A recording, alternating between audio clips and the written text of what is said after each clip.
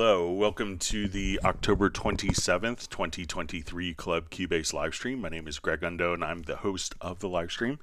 If you have not attended a live stream before, how it works is you can ask questions in the live chat field or you can simply send questions in advance by emailing them to clubcubase at steinberg.de. And I'm just going to mute my monitoring computer. Sorry. All right. Um, so when asking questions, realize that uh, my ability to answer the questions in kind of a real-time manner will soon be eclipsed. And as we are, um, so if you don't see an immediate response to your question, um, we will get to it in time. But if we could avoid asking the same question over and over, if you don't see an immediate response, that would be appreciated. Um, when asking questions, if you could specify which version of Cubase you're running, whether you're on Cubase LE, AI, Elements, Artist, or Pro. If you are also uh, which operating system and which version number. So if you're version 11, 12 on Mac OS or Windows, that information is helpful. Um, we should have an index of all the topics pinned to the top of the comments field several hours after the live stream. I'll take a dinner break, go back, rewatch the live stream, and type up all the questions with timestamps so you can imme immediately navigate to a particular topic. And if you wanted to search for topics that have been covered in previous live streams, you could go to cubaseindex.com. And you want to thank Jan from Stockholm for creating a wonderful website. Um, there's also a document that you could download from the Cubase Nation Discord, which is a wonderful place to find information on different topics uh, on that are relevant to the Steinberg community. We want to give Jazz Dude a special thanks for that. And we also have two people that serve as moderators, uh, Jazz Dude and Agent K. We will give special thanks to them. So once again, uh, my name is Greg Ondo. I work for Yamaha Corporation of America. I primarily focus on Steinberg products. And I'm presenting from outside of Washington, D.C. area in Alexandria, Virginia. Um, and if you're watching this live, or even if you're watching a replay, please feel free to introduce yourself and tell us where you're from. It's always fascinating to see people from throughout the world.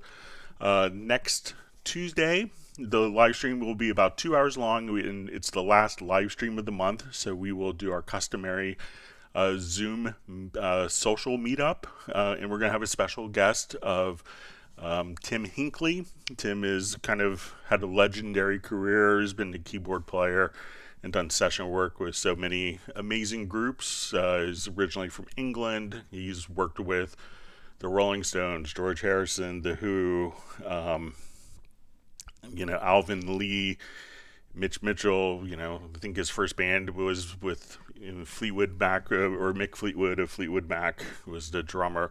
Just kind of a legendary, uh, you know, producer songwriter, Hammond B3 player, just all around wonderful musician. So, uh, and he's going to share some insights of uh, his career and ask questions. He's been a long time Cubase user. So, uh, and we will provide the link for the Zoom meetup in the live stream on Tuesday, or if you want to email me at clubcubase at steinberg.de, I could provide it for you in advance.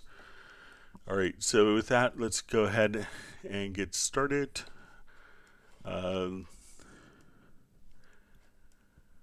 okay, so we see um, Dr. Ayman or I, Ayman Ayman from uh, from Jordan. Thanks for joining us. We have Jan from Holland, Michael Marshall from Somerset, UK. Glad you can make it today, and Uno Memento from Finland. And Uno Memento asks, um, how do I get drum hits to match the bar lines? if the drums are played on a keyboard MIDI without a click. Uh, the drums are played approximately 130 BPM and Cubase's tempo is 120. So let's say I just want to, um, I'll just roughly play something here and you know I'm not gonna I'm gonna do it without a click and I'll try to keep my drum part steady. So I'll do a click as a count in. So let's say we'll just come over here, um, just activate our count in. So I'll get maybe roughly, uh, and you said 130. So I'll do a count of 130 and then won't have the click continue after that. So make sure I have the click currently. Okay. So I just hit record.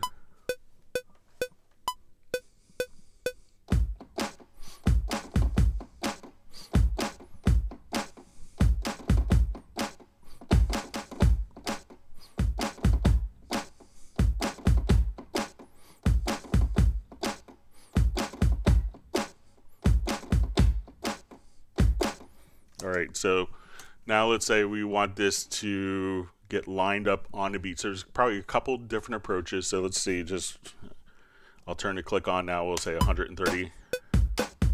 All right, so you see it's getting farther and farther off. Okay, so one of the things that I could do is just come over here.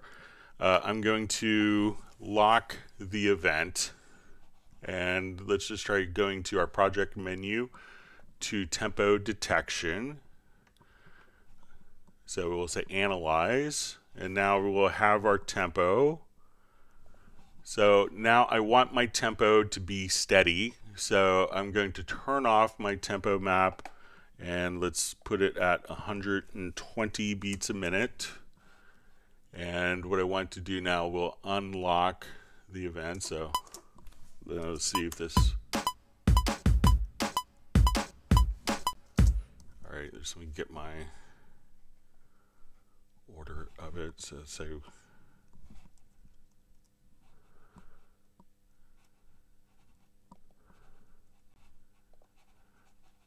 Okay, so it's just it's our original one. All right, so let's do and I'll just duplicate this version for now. All right, so let's do a tempo detection from the events themselves. And let's see if we need to lock the MIDI.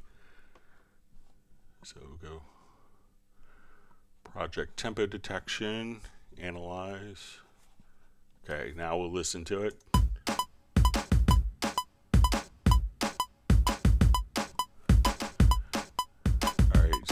Quick offbeat correction.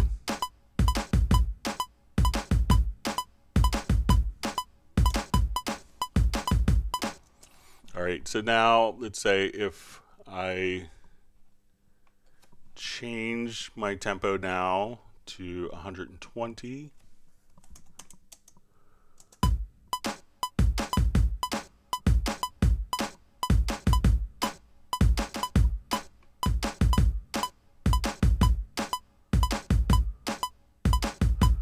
So that you know, so once you do just a tempo detection of it, you know, try to um, then you know take the tempo and you know basically tell the tempo track not to be following the tempo, and then uh, type in a steady tempo of 120, which is what we did, and then you should be all set.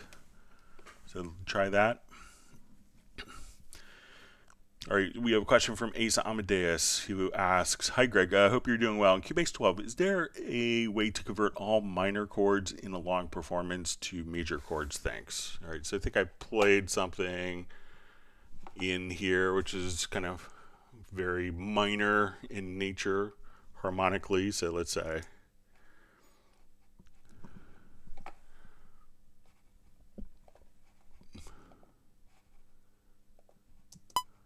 So say I'll just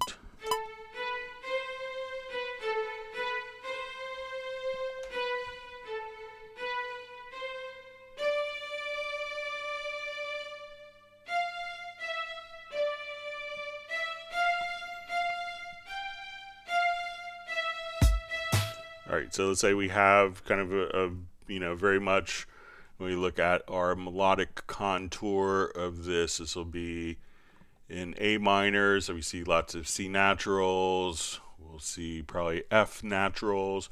So if I just wanted to take this in the MIDI editor, so in the MIDI editor itself, we could open up something called the scale assistant. So let's say the editor scale, I want it to be um, that it's currently in A minor and I want to change the scale here to A major. I could just select major now. Um, and then I could quantize pitches. So we'll see that all my C sharps will now, all my C naturals and F naturals should automatically switch to C sharp and F sharp. So once we do that, and now we could just have what was an entire phrase in um, in A minor, now play back in A major.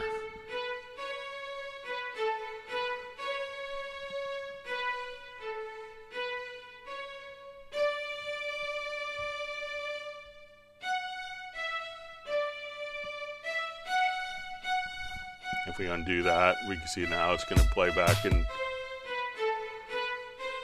so just in the scale assistant, and you have to have like the uh, MIDI editor as the focus, and then you could just come over here and just uh, set your scale and then quantize pitches, and then that will take long passages and automatically convert them to the new scale that you've defined. So you're kind of doing harmonic quantization, if you will. All right, so we have Make Some Music checking in from Germany. Thanks for joining us.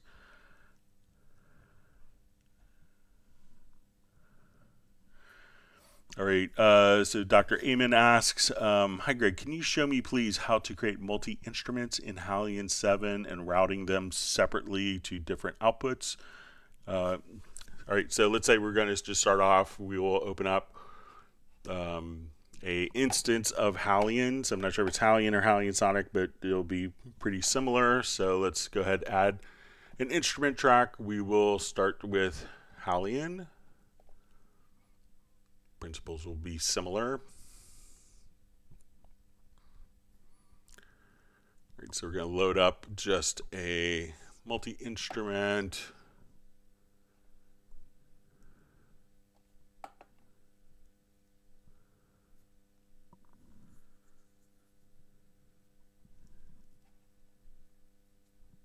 My computer's going to wake up here. All right. All right, so say um, here I want to have like a synth patch.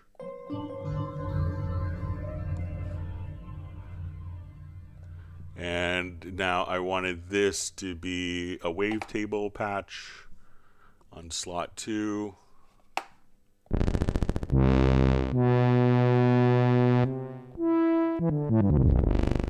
And let's go to slot three. Let's add kind of a an FM patch. All right, so now we look at here and let's say just a simple patch. Okay, so now we have so we have different instruments that we could select. And as we do this, they're probably all now going out of the same output. So you select a different instrument, same output, same output. All right, so all those are identical. So when we want to change, all you'd have to do is go to, um, let's say, we see right here, I could say, let's just uh, send this one out the master. I want this to go out of output two. Once we do that, that's now automatically added the output to our mixer. And let's get to output four. So now as we would play our different instruments, so we see my first instrument is in this slot. My second instrument is now here. Let's go to the third instrument and our fourth instrument. And if you had, uh, if you're intending for Halion Sonic, it's really very similar. We could just open this up, and when we go to the mixer, this is where we could see the 16 stereo outputs. So we could have each voice go to 16 stereo outs directly there. So let me know if that's helpful.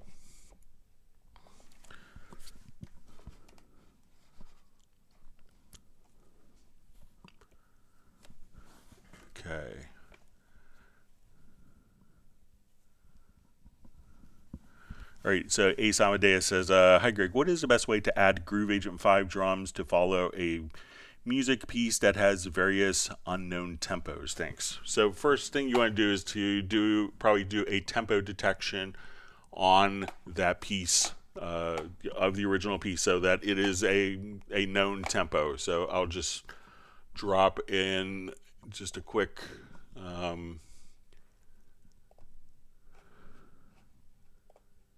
file that is recorded without tempo. All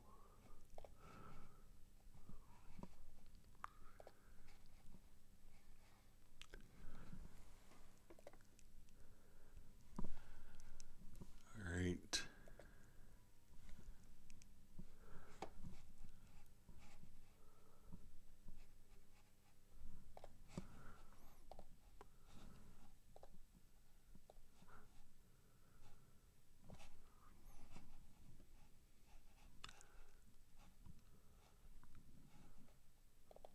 Okay, so we'll take this file here. So there's no tempo.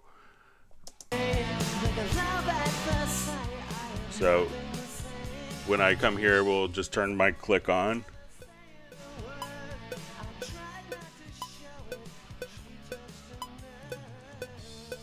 So I want to add an instance of Groove Agent with this.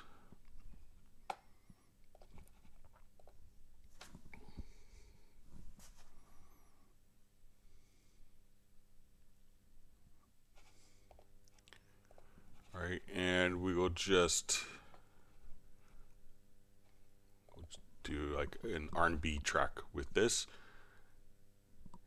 Okay, so what happens when we play this, the Groove Agent is going to automatically follow the the timing from the sequencer. So we we just have a steady tempo because we don't know what the tempo is in the file. So we're going to play back at 120 beats a minute. So there's no real correlation.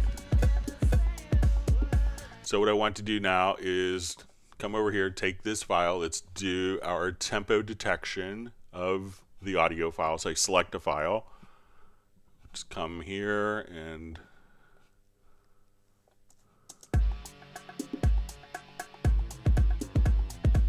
So now that we've done the tempo detection,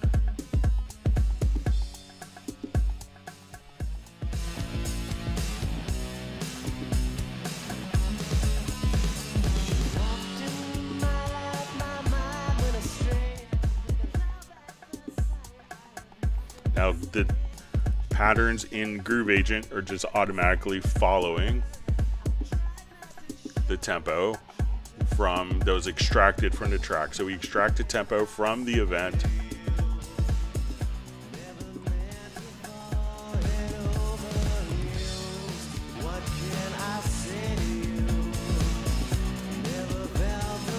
Groove Agent is automatically following the tempo track that was extracted from the audio itself. So once you can do that, then that makes life so much easier.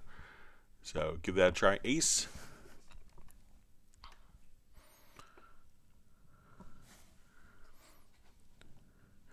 All right, wonderful to see Jan from Cubase Index on from Stockholm. Thanks for joining us today.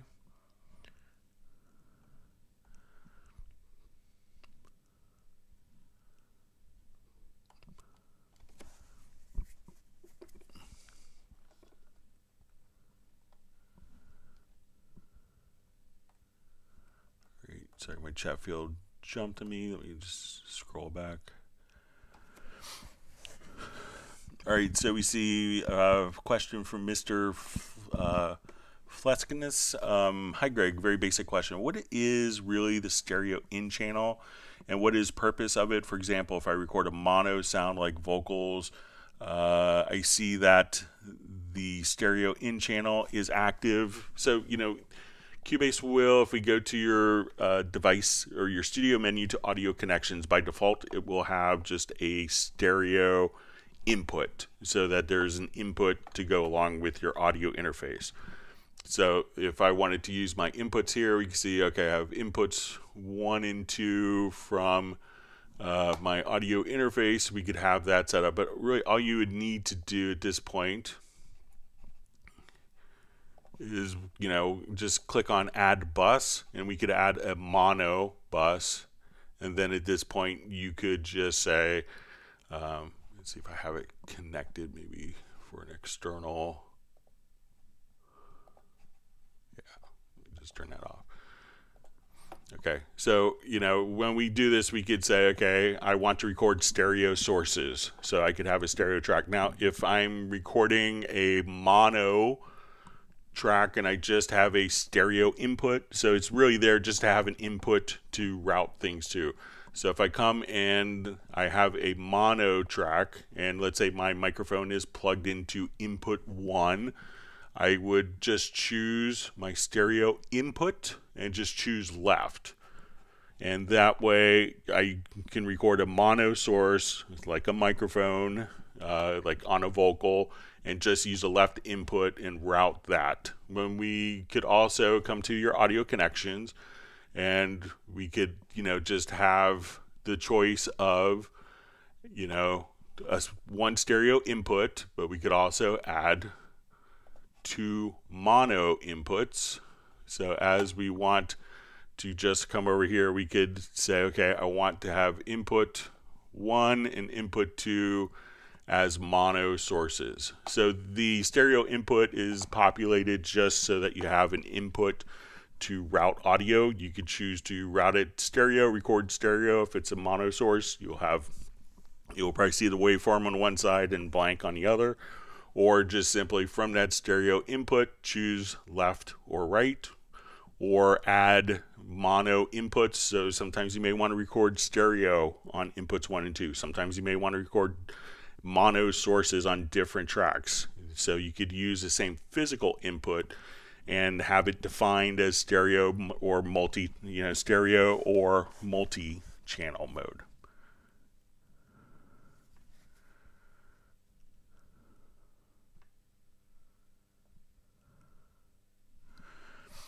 All right. Uh, so we see from Dallas LaRue from Las Vegas. Uh, can you show once again in Vari Audio how to dissolve an audio track like bass or vocals to MIDI and properly assign the notes accordingly? Okay, so let's jump back.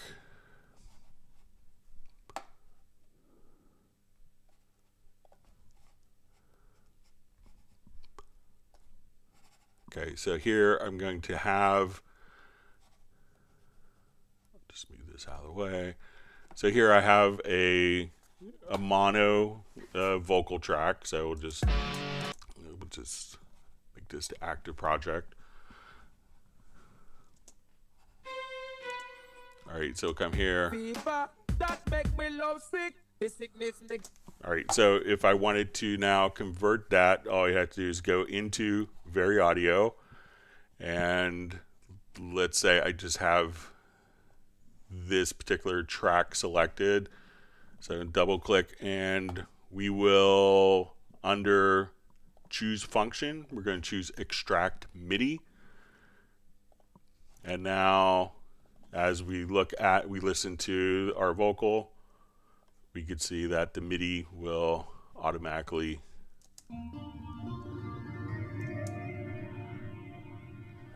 So let's say, uh, maybe I have this on the piano part. So that's that would be all you'd have to do is you know so once again once you're here uh, and you'll have options if you want it to you know include pitch bend data if you don't want to include it where it's going to go do you want it to create a new MIDI track? Do you want it to go to the project clipboard? That's like when you copy something that you want to paste to another track or do you want to go to the selected track so that's all you have to do. So you can see that's the MIDI. Extract it right there. All right, wonderful to see Jazz Dude on, and we see Value from Vienna, saying sending best greets from Vienna to all around the world. Always wonderful to see Matt Elston on.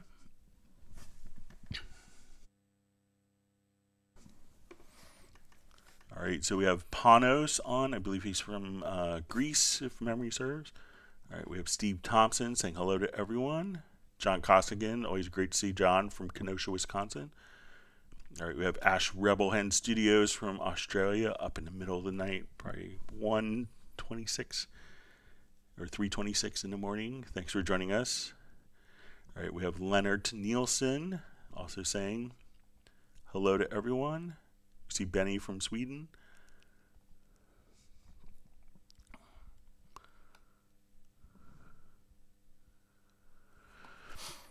All right, so we see um, hi people, hope everyone's well. I'm currently on FL Studio user, but I want to switch to Cubase. But the cross grade purchase option is unavailable at the moment. Anyone knows when it's available? So I think the online store was kind of officially relaunched today. So let's go ahead and just take a look.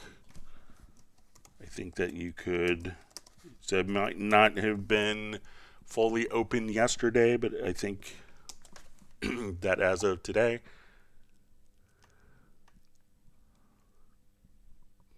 I haven't had a chance to play around with it yet.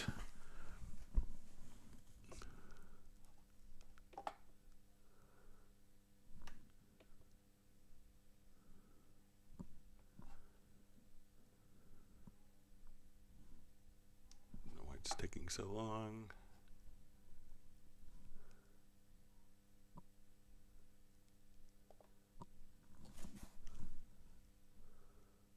Okay, here we are. All right, so let's go here. We'll say Cubase. so you can buy Cubase 12, and let's say you want to get Cubase Pro 12, um, and competitive cross grade. So you could just do it right there. So it is available. So again, the online shop is back. So if you checked yesterday, it may not have been up, but you know, we'd love to have you become a Cubase user. So.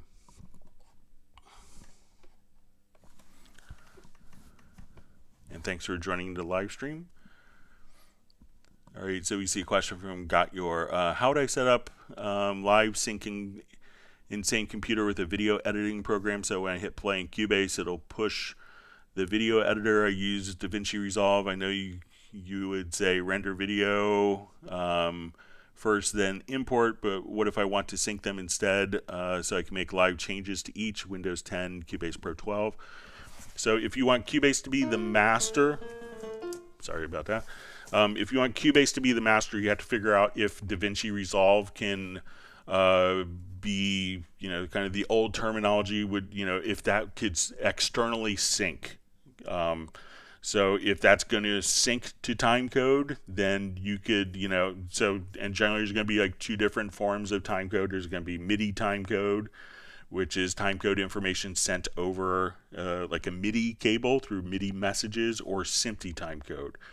So if you want it now, often when you use timecode, you would need to have you know, between the two programs, you could have Cubase automatically send sync out of.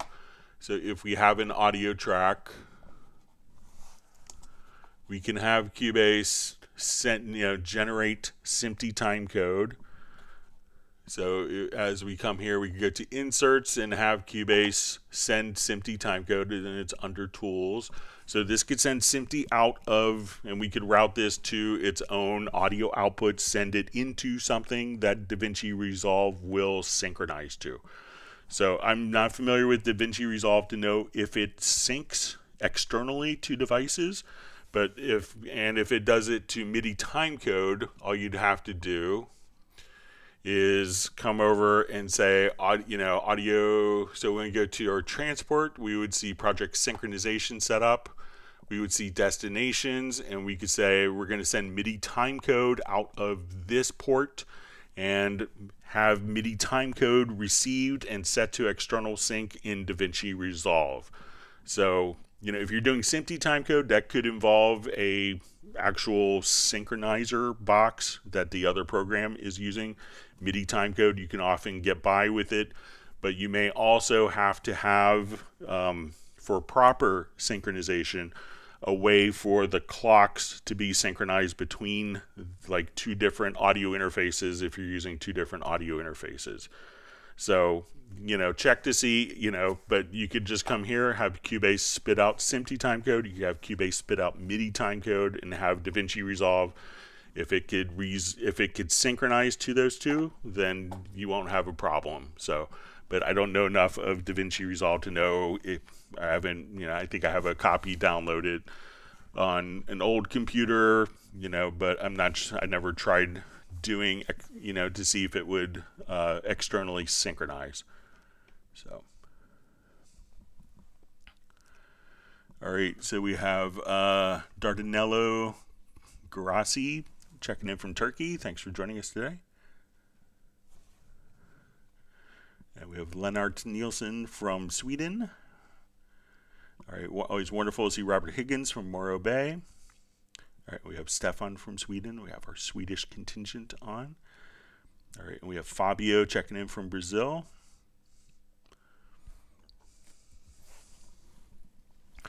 All right, Robert Higgins asks uh, how to automate reverb from all wet to all dry over time. Let's say one minute in time. Okay, so I'll just take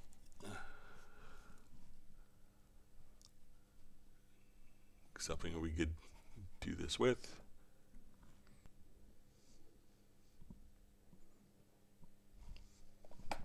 Okay, so we could use kind of a, a send effect to do this. Let's say we want to go to um, our guitar. So I will come.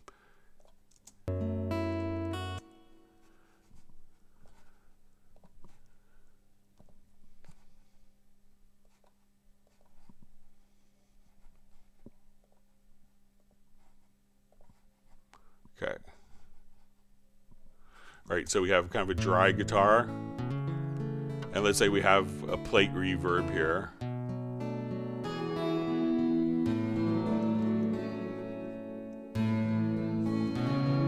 All right, so one of the things you could do is I'm just to, let's say, like while where the guitar starts, I'm going to just quickly automate. So I'm just to click on the W button, and I will just kind of come here and I'll just kind of start an automation. We will open up the automation lane and here we can see this is our send. So what I want to do is to take this send, you could manually move it if you wanted to, but if you wanted to, uh, you know, probably the fastest way to do this, is just grab the line tool and say, okay, I want my guitar send to go from completely wet to completely dry. So once I've automated that parameter quickly, we can see that's going to pop up in a list of parameters or parameters that have automation on it. So as I watch this, we just have a very wet guitar. And then as we play,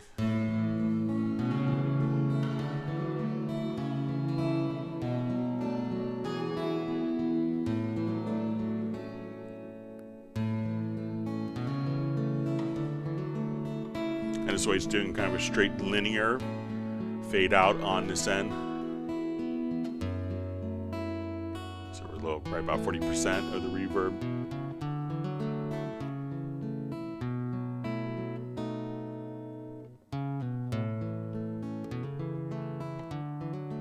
I'll get very dry. Then we'll go back to where we were. So so once again, just kind of go to this end, and if you want to automate it, that way it kind of just shows up as an automatable parameter. Click here to open up the automation lane, select the parameter that you want to draw in. Grab your line tool, and then you could just kind of draw in just a straight kind of fade and say I want to fade out over that much time, or I want to fade out to there and then fade into there to bring it back up. So pretty easy to do. And then just make sure when you're automating it, you just have the R, and then that R will read the automation that was written in or recorded.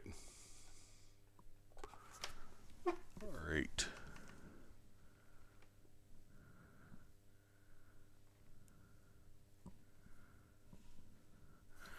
All right, so we see uh, from Jamtrack's reunion, hey Greg, is there a way in Cubase where I can show compression meters along with the regular meters in the mixer? This show how much compression is being used on each channel at a glance. So yeah, these will often be called like kickback meters. So let's say I want to take, um, let's take this guitar part here. We can see it like in, and I think it works with like the channel strip.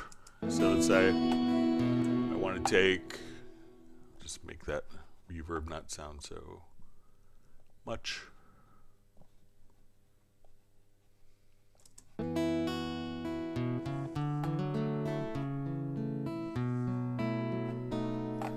Okay, so I'm going to let's go to our, our full screen mixer.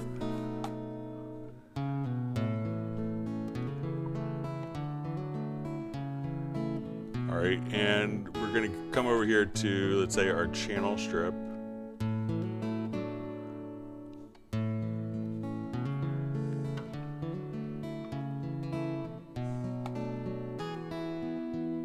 And let's apply compression.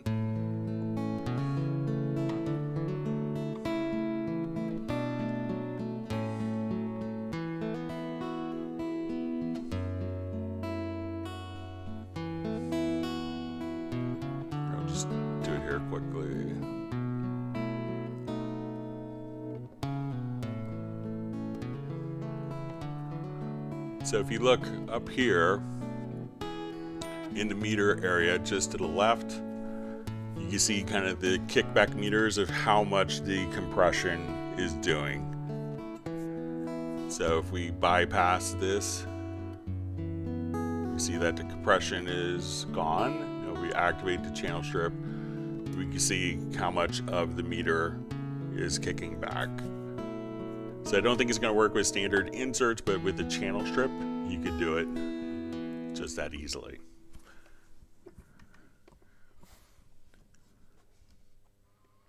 All right, wonderful to see Brian Sawyer Sr.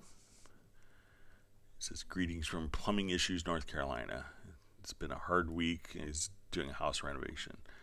He says, he thinks that they should release Cubase 13 out of sympathy for him. I'll pass it along, but it's already past business hours in Germany, I think. So, all right. So we have uh, Roland checking in from Sussex in England. Thanks for being online with us. All right. So we see Cubase Index um, says uh, next uh, note next week U.S. have uh, left daylight saving times, but EU still have uh, daylight same times for one more week equals live stream start. So I think we're not changing our clocks. It's a great point to bring up, Jan. Uh, I don't think we're changing our clocks until November 5th uh, in the US. So I'll kind of check to see if that's going to be in sync uh, with like European daylight saving times. But yeah, I'll try to remember to to mention that uh, next week as well to be aware to check the times. All right, so we see from uh, Home Studio World. Uh, hi, Greg. Uh, I feel that jazz style is not as other styles. I mean, library loops. Please show us more Steinberg products um, if available. So, you know, if you want to, you know, like a lot of jazz stuff is like the drums can be, uh, you know, really. Uh, you know, some of the hardest things to do for, you know, kind of authentic jazz stuff with loops and there's two great um, like Groove Agent expansions.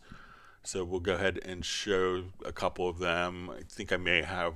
We'll see if I have both of them installed. One is going to be just uh, jazz drums. So let's go ahead and load a kit with patterns. Uh, see if I have. I may not have that installed on my demo computer, but I, I and the other one is the uh, Simon Phillips jazz drums. So this is sold as an add-on. But if you wanted to do like, you know, wonderful jazz drum events here. So you could have kind of your different, you know, and if you want to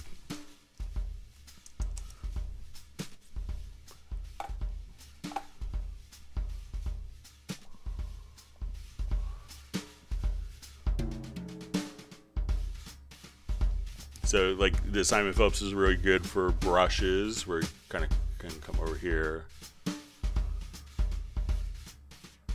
Adjust the complexity of it.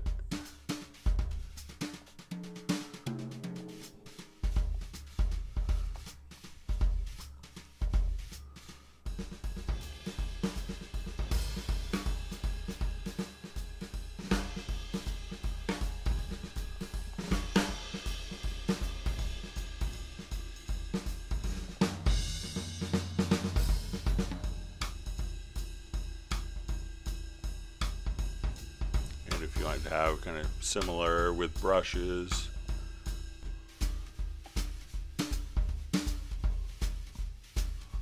And then you always get to have Simon Phillips playing on your track, which is kind of cool. One of the all-time greats who's can, one of the few drummers that could so easily, seamlessly go back and forth between pop, rock, and jazz. You know, playing with you know, from Judas Priest to Toto to The Who, um, and all sorts of great stuff. So check out like the Simon Phillips Jazz, and there is like a jazz, another jazz um, groove agent kit, and those are like really the hardest ones to do. So you know, check out those for jazz content. Always wonderful to see David Reuter and Kristen Priestley from Big Tent in Nashville. Hope you guys are doing great.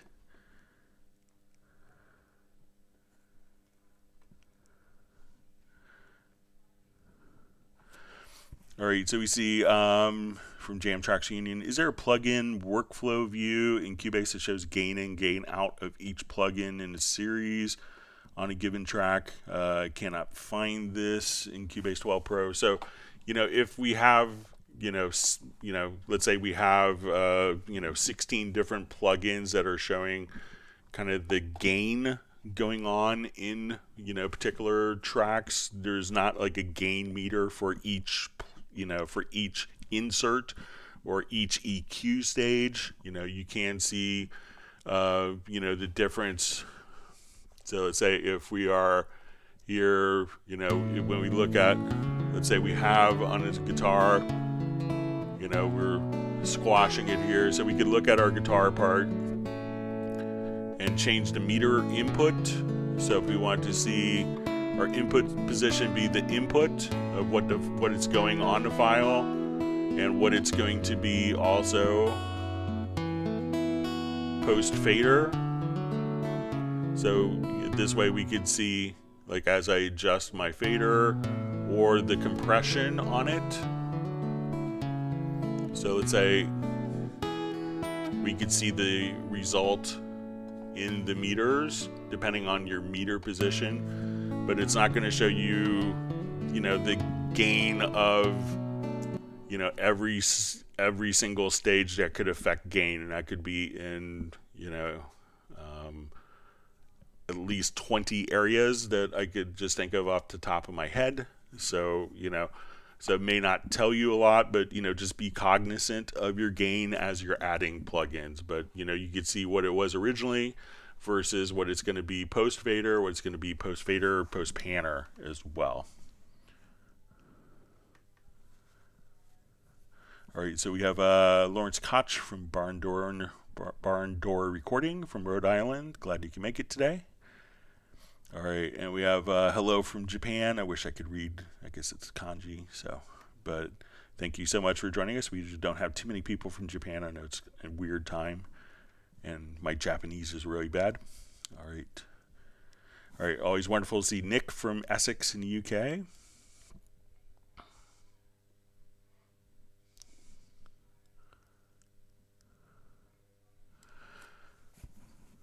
All right, so we see, uh, thanks, Greg. Is it possible, question, to get to EQ transients uh, and tonal separately in Cubase? To me, it's important. Um, Cubase 12 Pro 10 thanks. Um, so, you know, we, we could do it kind of within, not necessarily with EQ. I think, you know, the only, you know, we could, if we have the, um, you know, we can't separate the tonal from the transients, but a lot of stuff you could come over here and, you know, if you needed to just do transients on particular frequencies, You could activate the dynamic mode of, you know, of the so say we will just come over here, you know, so you could activate the dynamic mode of frequency. So you have the dynamic EQ, uh, but you know, it's it doesn't necessarily have the ability to split the transients from the tonal characteristics. It's something like split EQ. The I think it's Eventide, which has that. So maybe we'll see something in the future with that. But currently, there's nothing in Cubase that does it. And I think the split EQ is still we could do it for like creating instrument sounds. Uh, so you know we could do that. You know we could do it inside of you know while not necessarily uh, in EQ if we wanted to take a guitar file and you know or let, let me just find I'll just do like a, a drum loop. Let me just open up a project.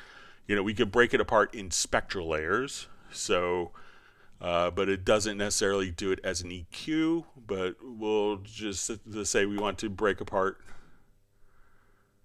you know, our files. We, we could break it apart.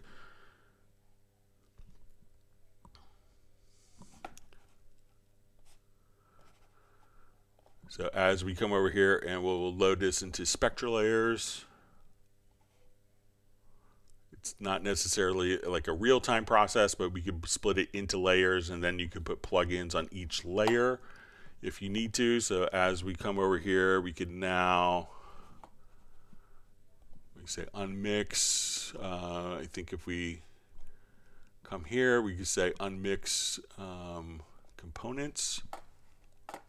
So here we could break apart the tonal and the transient. So again, we'll go to unmix components and we'll hit OK. So now each of these could be its own layer. So as we would play back, so we could look at the tonal, the transients, or noise.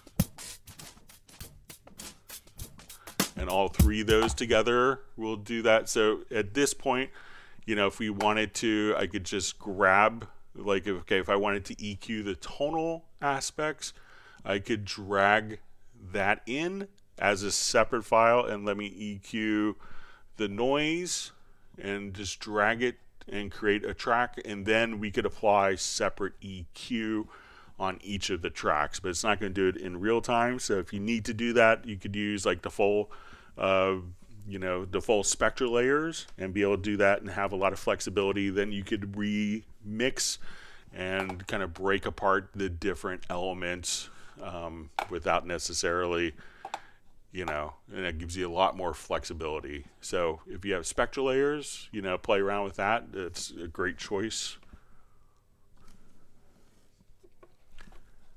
all right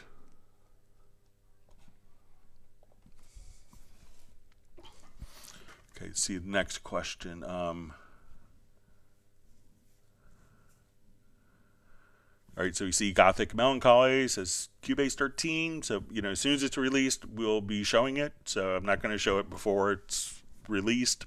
So, um, so, but I think things will be happening pretty soon. So, all right, so we see from Wilfried uh, Godert.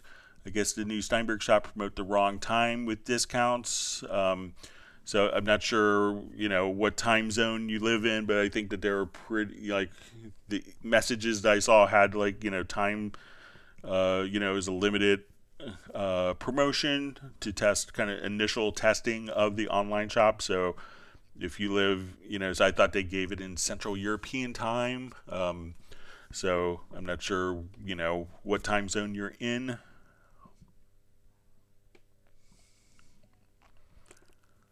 Okay, uh, Roland Stuff asks, uh, Hi Greg, the quantizing pitches you showed today, can that be applied within VariAudio so audio generated harmony tracks always contain sensible notes for the scale being used?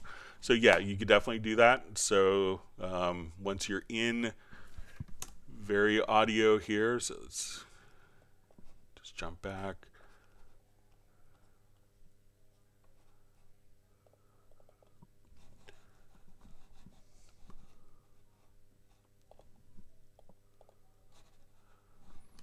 So now that we are here, we could say, um, but you have the scale correction. This came in version 12. So we could just say, okay, we want to use this scale. I want it to be C, let's say melodic minor, and come here, quantize pitch. And you could just do it like that. So, so you can do scale correction within the VariAudio.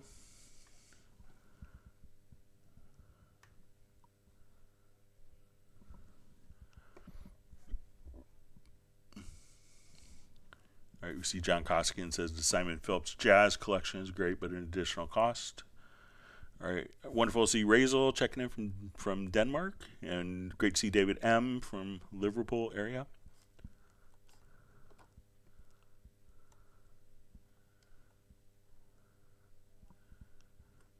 Great.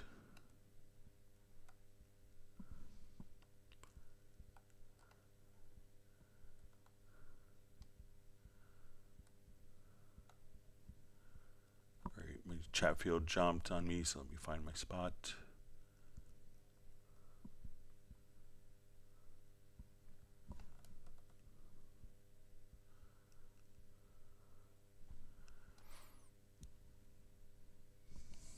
All right, uh, all right, so I think I'm back.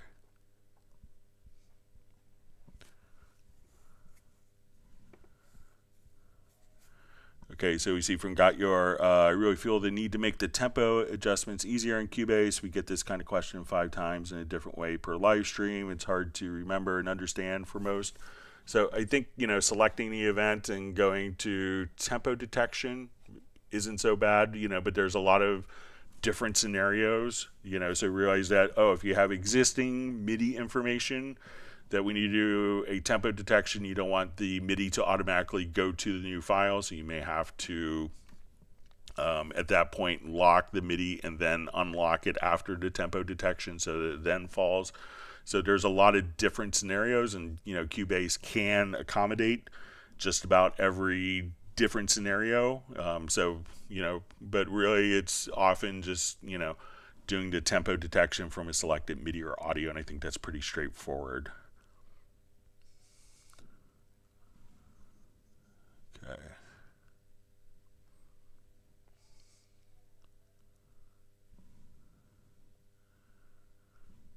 We see Mark Rabin checking in from Montana. I saw it was snowing in Montana. We hope you're staying in and warm if you got snow, Mark. Our best to Stella, and we'll all say woof woof to Stella. Mark's dog He's a loyal attendee as well. Too bad Stella can't hit like with her paw. And if you do learn a new tip or trick, you can't hit the like button.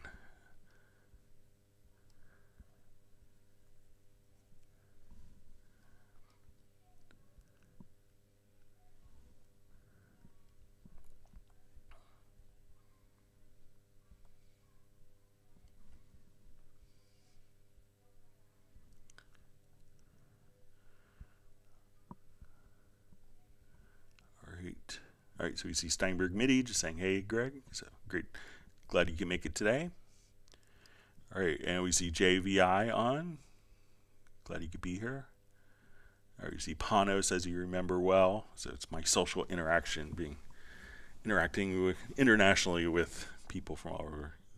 It's, it's always wonderful to get a sense of where people are. Makes it easier for me to do the live streams.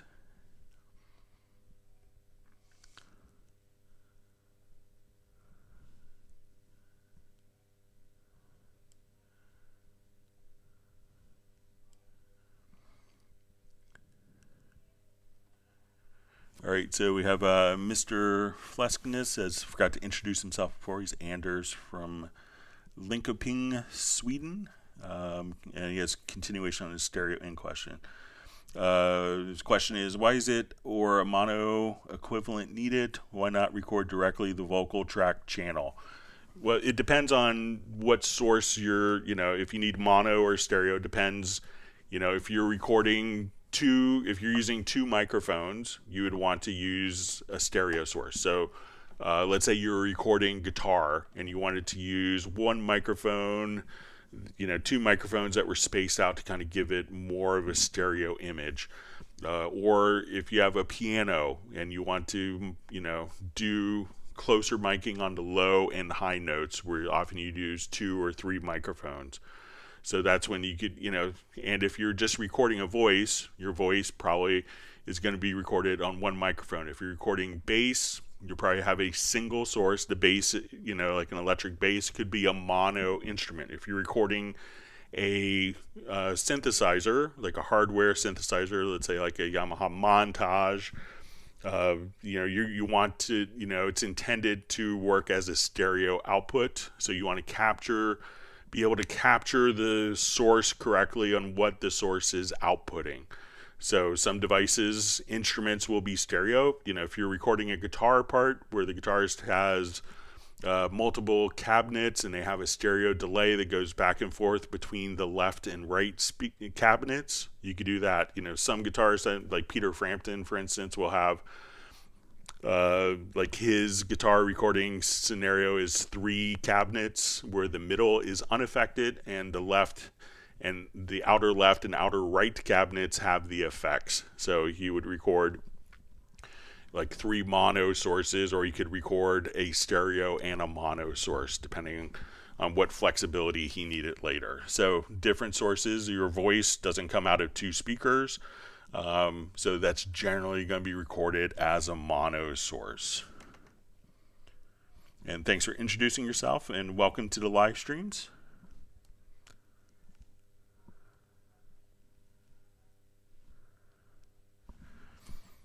See, Stella says sync used to be a post traumatic stress disorder word. So, yeah, it's always the old days of synchronizing to multi track tapes or video decks and, you know, simply bleeding into track 23. Not so much fun. I don't mind not using synchronization.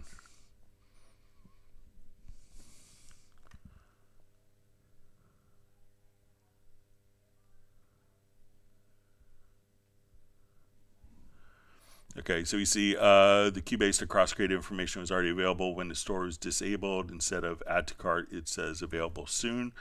Um, yeah, so check, I'll, I'll, check just real quick uh, and see.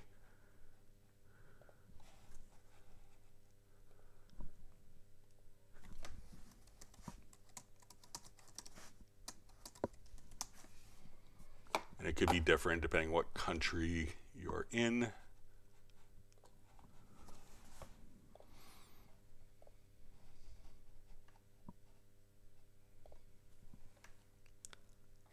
Okay, so see available soon. So, um, so yeah, I'll see if there's. I'll mention it that people are wanting to be able to do that. So, um, yeah, so I see that. You're right. So it's a add to cart.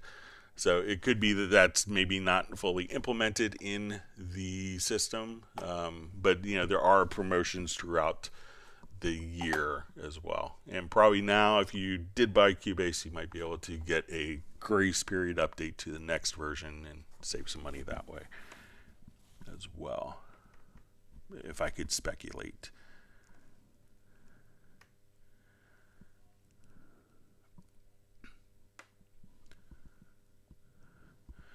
Okay, so uh, Matt Elder asks, uh, "Hi Greg, Matt from Toronto here. I was just wondering if you're able to save drum maps and have Cubase remember, or do you just have to keep importing them?" So you know, if you start off with a template, so you know it's going to be saved when you save a project. So as soon as I uh, I will go to here. I have like drum maps that are saved within the project. So once we have the the drum map set up, it's going to be recalled in the project. Uh, if it's a groove agent, one of the things that you could do is just come over here and import and create drum maps from the instrument. So you don't necessarily have to import it all the time. You could save it within a track preset. You could start off with a template. Uh, but it, and if you don't start from a template, you know, you could just create the drum maps. But if you go to, you know, the drum map setup, once you go here to, and you say, okay, I want to do a new map, and say, okay, this is going to be this. and we come over here and we say save. We'll call this October 27th, 2023. And let's go to a new project.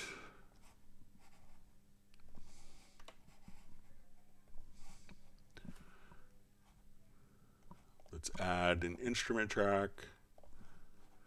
Okay, I want to go to my drum map setup. Um, let's see if it's. So it looks like it's not stored, or it could be. All right, so see if we load.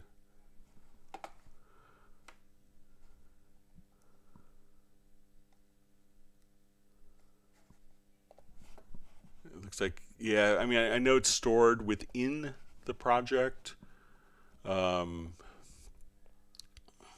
but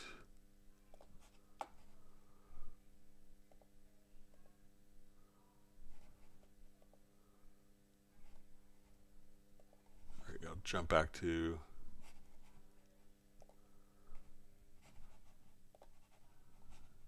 back to here and we'll see it again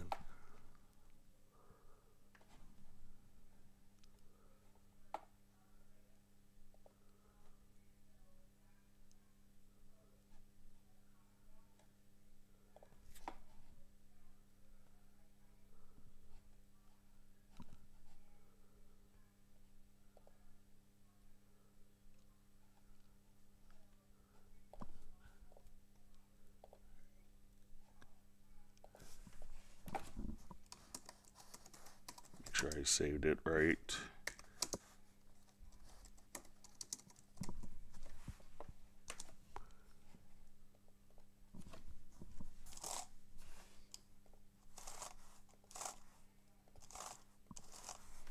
Okay.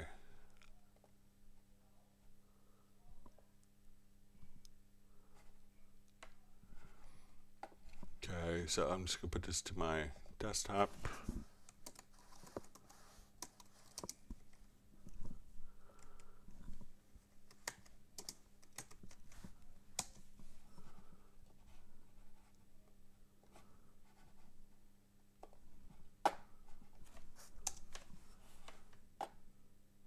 see if it's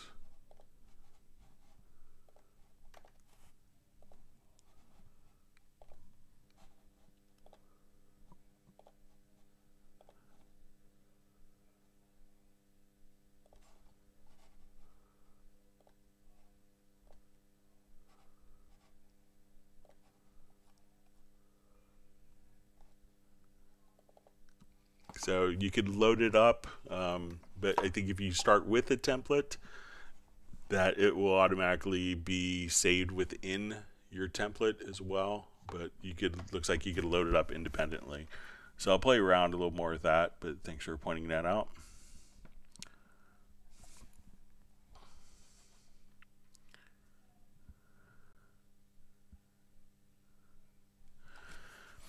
Okay, so Mark Rabin asks, uh, I have a question about using more than one interface. Do you get buffer latency of a particular unit or cumulative buffer size? So it is going to be compounded, so it will be cumulative. So it will basically be uh, working with the latency added together of both interfaces. So it's another kind of thing that's not so great with it.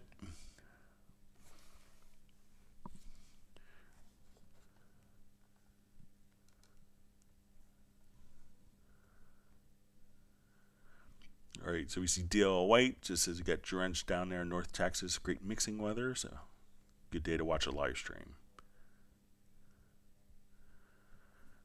All right, so we see uh, is is Cubase suitable for the EDM genre? So yeah, definitely. I mean, I talked to you know like just this week I was helping out Zedd in his camp. Um, you know, a couple weeks ago I was helping Circuit, so lots of guys doing EDM stuff that do it entirely in Cubase. So.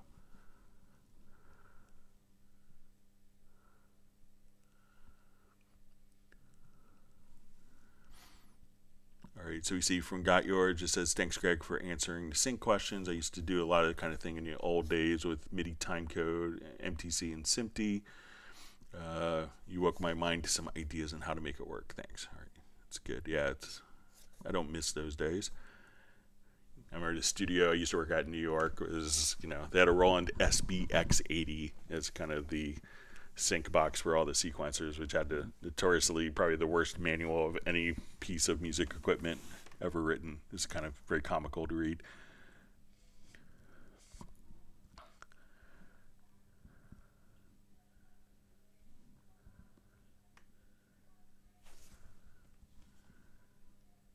All right, great to see Michael Teams on.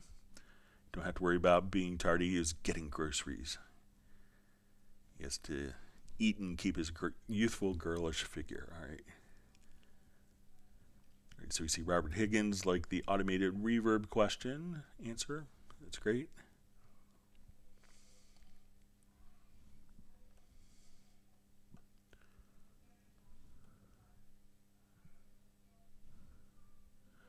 All right, so we see from uh, Wilfried uh, is today is Zoom. So you know we have the last live stream will be on the 31st. Um, so we'll be doing the Zoom on the 31st. Uh, it is Halloween here in the U.S. I know some people asked if they could wear Halloween costumes on the Zoom. You could do whatever you want. I probably won't. Uh, but and we will be having our special guest uh, Tim Hinkley. Um, so yeah, who's just had just an astonishing, amazing career. You know, so. I'm looking forward to having him be able to share some of his stories and insights with you guys.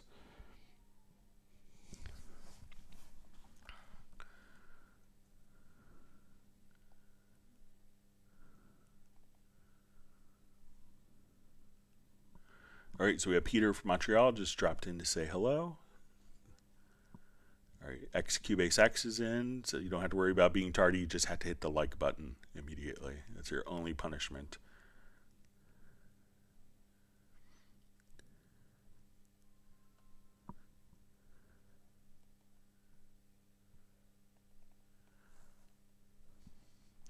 All right, so DL White asks, Hi Greg, if I want to move my project to a different drive, is backup project the best way? But work as a normal project file location, all files and references, thanks. So yeah, if you have a particular project and you wanted to, you know, move everything that's required in that project to work from a new drive location, the backup project is kind of the best way to do it. So as we are working with it, uh, all you have to do is go to your file menu, choose backup project. Here it's going to prompt you to, okay, we're going to define a completely separate new folder where we want all the files to be moved to. So your original files will be intact in the location. Create a new folder. So we'll call this October 27 backup. So we'll select that folder. Uh, you could give it the project name. Uh, and then you have some different options. You want to keep this current project active uh, do you want to minimize audio files? And what this means is if we had audio files where we did a 10 minute recording and we used 30 seconds of 10 minutes, do we want to back up the 9 minutes and 30 seconds of the audio that we didn't use? So if you don't want that to make it smaller, do you want to make direct offline processing permanent?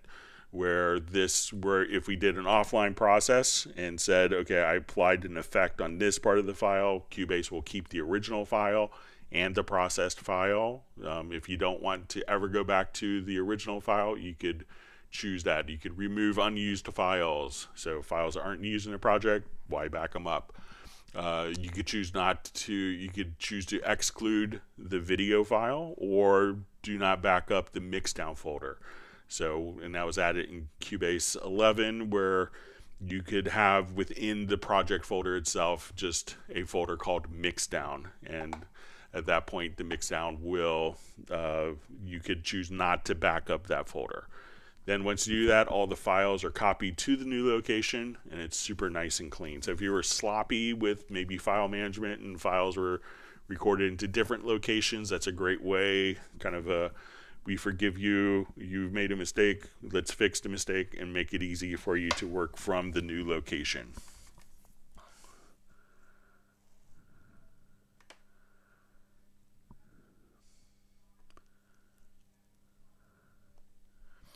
Okay.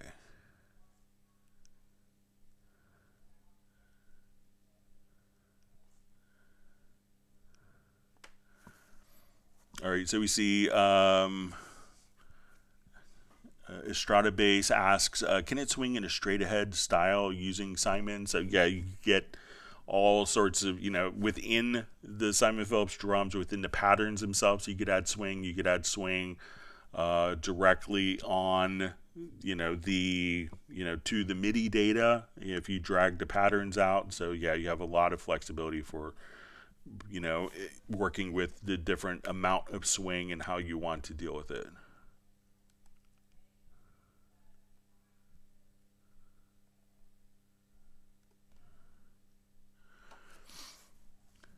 All right, so we see, uh, I see from Wilfried says when Steinberg reserved the offer the shop and SpectraLayers can run as VST3, it's an option, but I guess you cannot use it inside DaVinci Resolve as VST3 plugin. So generally, SpectraLayers, you know, I think is really designed more for ARA2. Um, so, you know, that's how you would kind of get the audio in and out of the system. So maybe see if DaVinci Resolve has uh, ARA2 and usually when it's more complex of going into a you know not just processing audio but going into a different editing environment then ARA2 gives you more flexibility with that. So check to see if you have ARA2 work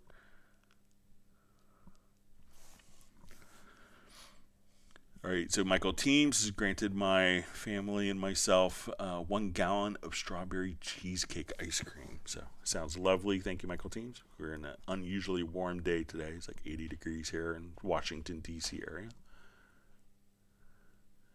You see, Peter is out shopping with his wife. He'll be back in a while.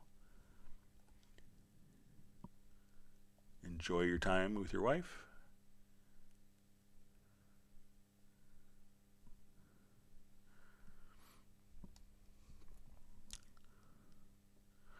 All right, so we see, um, I see in Steinberg webpage, there are multiple expansions for Groove Agent. Are there any expansions for Halion available with Cubase elements?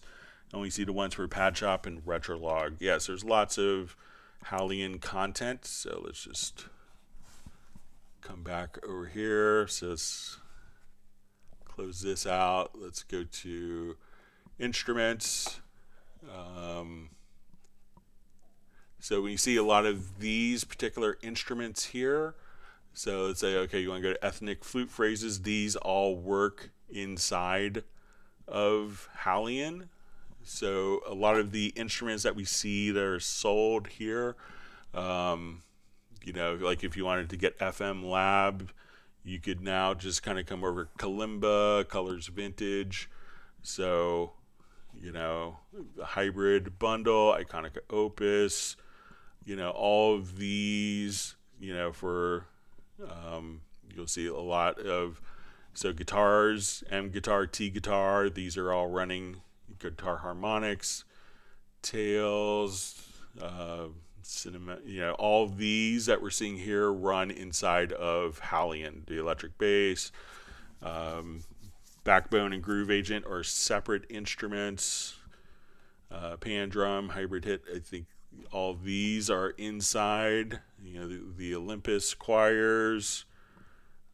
So pretty much most of these are running inside of Halion, the orchestral stuff. So Hyperion Brass, Halion Symphonic Orchestra, Vertigo Strings, Vertigo Violin. So, you know, uh, the Grand is separate, but Amped Electra um, four knob upright, you know, so the vast majority of these will be running inside of, you know, when you think of Halion as kind of the playback engine where those instruments will use, will be played back through. All right, Michael Teams wants people to smash the like button.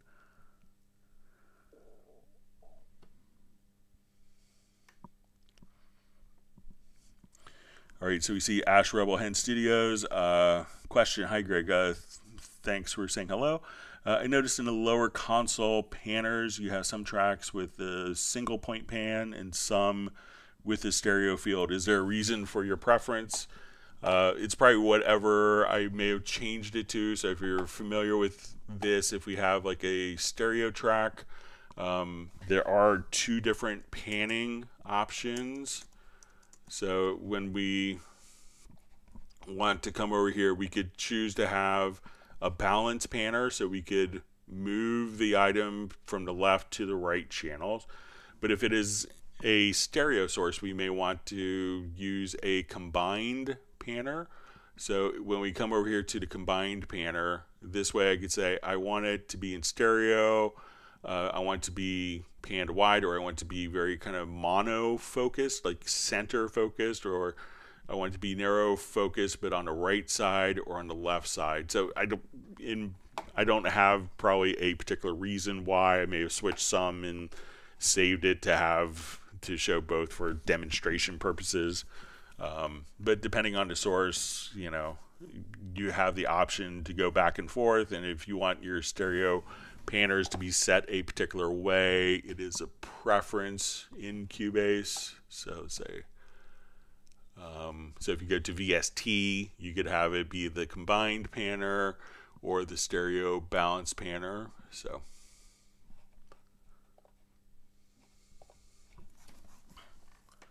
So no real particular reason.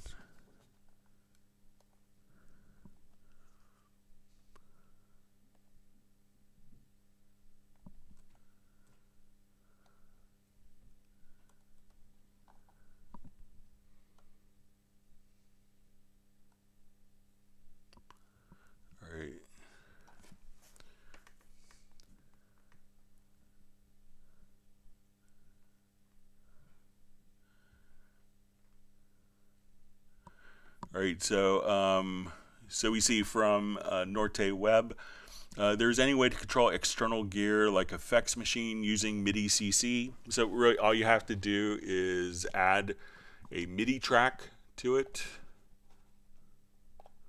Um, take that MIDI output to a MIDI output port where your device is connected figure out what the CC data is. If it's like modulation or something like that, all you would have to do is create an empty part.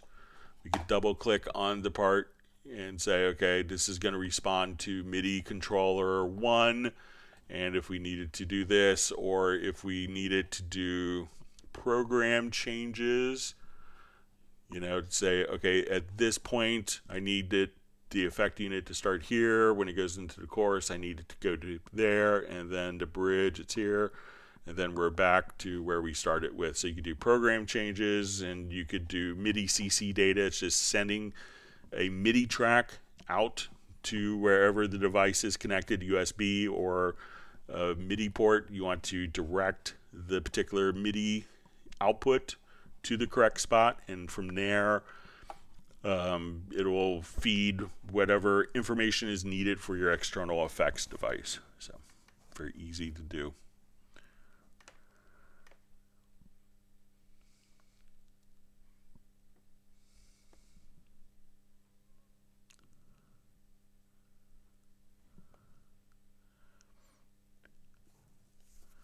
All right, so we see Mark Raven has 18 inches of snow in Montana, and Stella loves my voice. And see, and Stella, Mark's dog, is happy to be here. All right. All right, so we see Captain Energy Music from Pennsylvania says, yes, definitely hit the like, guys and gals. That way keep the videos coming.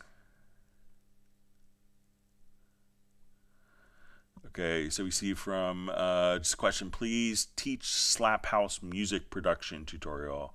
Um, you know, generally I, I, don't. I'm you know, if you want to email me an example of a slap house, uh, slap house music, um, I'd be happy to kind of mimic it. I mean, generally we don't say make a rock track. You know, we're just you know, generally the intention is to you know we could show you how to do stuff, but you know, like I may not play the guitar part or do something. But if you want to send an example like a YouTube link, you could email me at clubcubase at steinberg.de and be happy to uh, you know try to create it for Tuesday's live stream. All right, we see Dr. Amen just says thanks a lot, Greg. All right.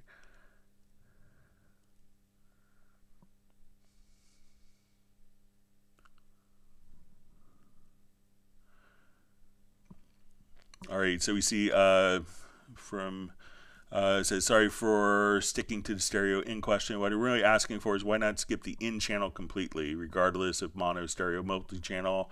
Why not record directly onto the target track? Well, the problem is if you're recording, you know, multiple sources at once. Let's say you're recording your guitar and voice and drums and bass and keyboards. How do you define which instrument goes to which uh, to which track.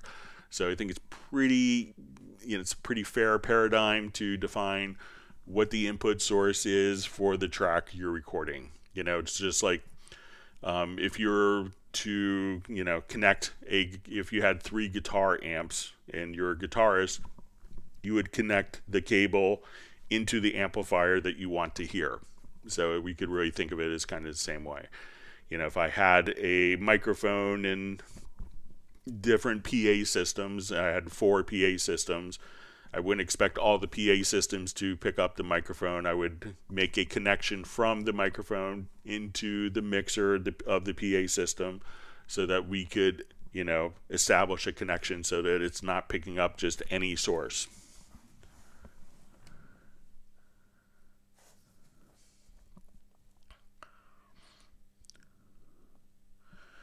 Okay, so we see Alex Morgan. Uh, great to see you on. Uh, hi, Greg. Thanks for all your help. Question: How to do? How do I get the key editor window to always open as a separate display other than the main one on Mac? Uh, it always opens on monitor one, and I wish to change. So it, the key editor will always, you know, if you know, first off, if you go to the preferences and we go to editors, we could say when we double click, we could open into uh, a separate window. Okay, so let's say we have that selected. I double click now. It's in a separate window. If this window is, I close this window, this window will be retained, the, the placement of the window. So I double click on a MIDI part, we can see that the MIDI key editor is in this the same spot. And if that is on a secondary display, that is where it will open. So at this point, we double click and it's going to be you know, directly showing these particular events. So wherever this window is last placed is where the window will be recalled when you get to open up MIDI data again. But you may have to set the preferences in under editors to double click opens instead of the lower zone into a separate window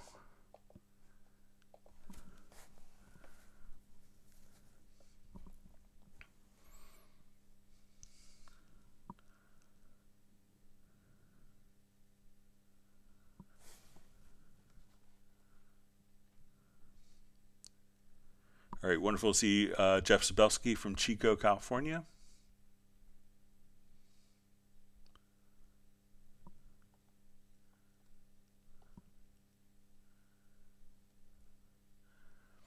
All right, so we see Doug O wishing everyone uh, everyone a happy weekend, all the fellow Club Cubase warriors.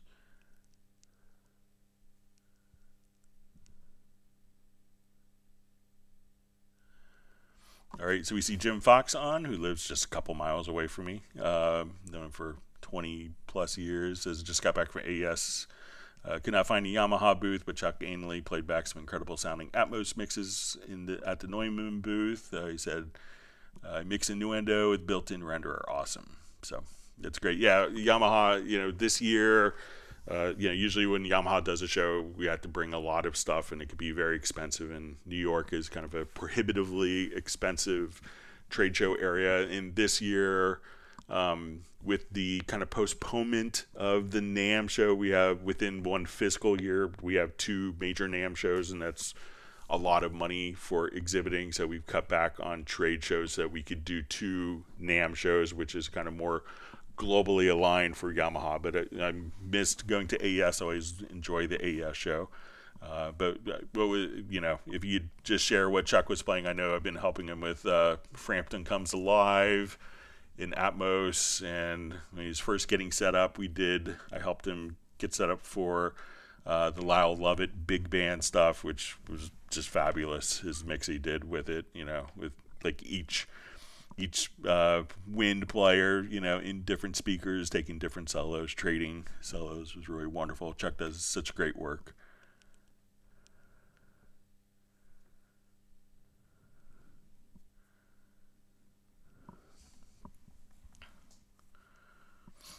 All right. Um, so we have a question from 2R Studios. Uh, hi, Greg. Can I disable listen mode from an input from the Mix 1 main monitors UR824? I always hear the DSP Yamaha reverb going through the main speakers, not only headphones. Thanks in advance. Um, so what it could be is uh, I don't have a UR824, so it's kind of handled a little differently. But if you go to your studio, you might see an audio device set up, and it might be under more options. Um, and then once you see that, you can open up a little control panel, and you'll see like two knobs, and one of them will be like a reverb return, and it's usually like the knob.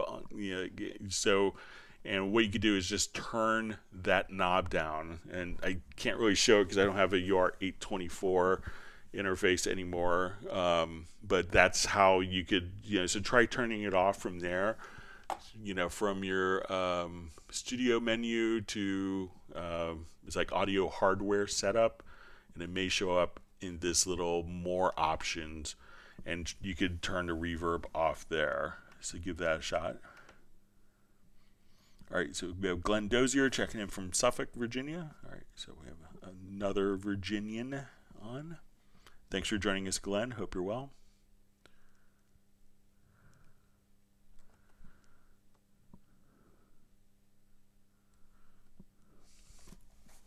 All right, so Doug O asks, Hi Greg, are there controller maps for earlier models of the Akai MP Okay, mini play, MIDI mix, innovation, launch, key 61, maybe a collection online anyone knows of. Also, did you see the question I emailed in?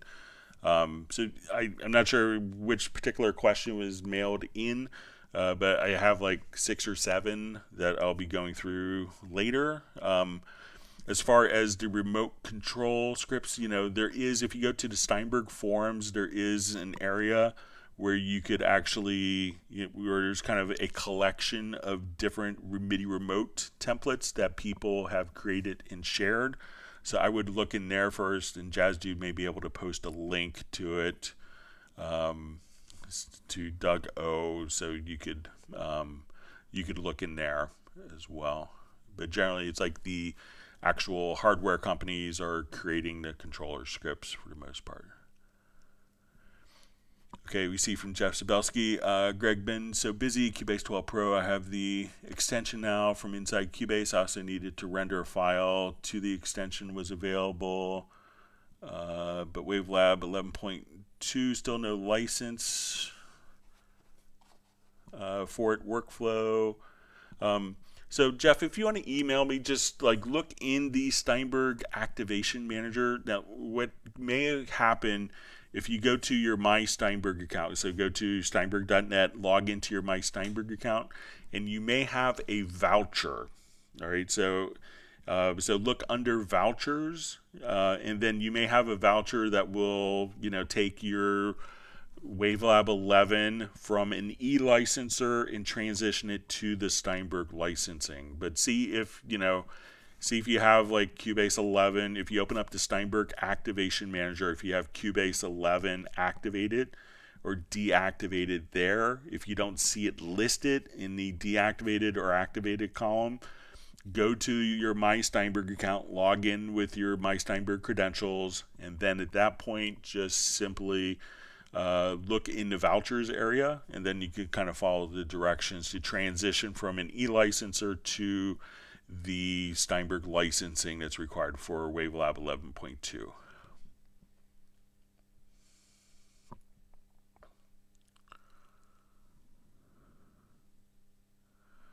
Okay, so DL White asks, um, Greg, I have a project that is playing reverb on several tracks.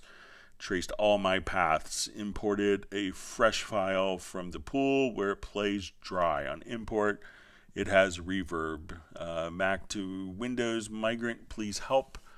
Um, so, you know, one of the things is if you have, uh, you know, go to the visibility tab and make sure that all of the tracks here are visible. And it could be that the reverb, you know, might be in a folder. So let's say if I added a couple of reverb returns, so I'm going to add several effects channels. Okay, so we'll add a couple revelations. And then if these are created inside folder, all right, so we may have the reverb here. And it could be maybe in an effects channel folder. So make sure that, you know, that folder may be closed. So check to see if you have like an effects channels. Um, if you, you know, know which reverbs you're using, you might be uh, able to also just come in here and type in like REV and then you could select the tracks uh, just by searching.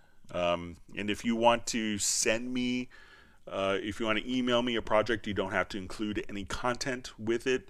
Uh, but if you want to email a project, I, I could probably find kind of the routing. One method that you could do is let's say I have uh, particular tracks that are going to a reverb, and let's say this is also being sent to a group so say we go to my sends, and this is going to, I'll just add a group channel. So this vocal is going to sends, and it's going to our group. So if we open up the channel settings, so you can click on the E here. Um, one of the things that you could do is you could just come right here and say, um, show the output chain. So if you know that, like, okay, this voice has, um, you know, what this is going to do is come over here, and this voice is going to, uh, you know, this, you know, at this point we could say, okay, it's going to three targets. So we can say, okay, now this is this vocal is going to, you know, my RoomWorks reverb. This is also going to and once you kind of click here, you could just, you know, go to your different targets and what's feeding those targets. So we say, okay, I want to go, let's say, to this voice, and the vocal is going to three targets. So this is going, you know, so we could click right here on the targets and see exactly where this particular track, what reverb it's going to, what group it's going to, what stereo out it's going to. So give that a try, and then that will expose on the track that you're hearing reverb all of the routing options. And again, if you want to share a project file, I'd be happy to take a look at it, and you can send it to clubcubase at steinberg.de.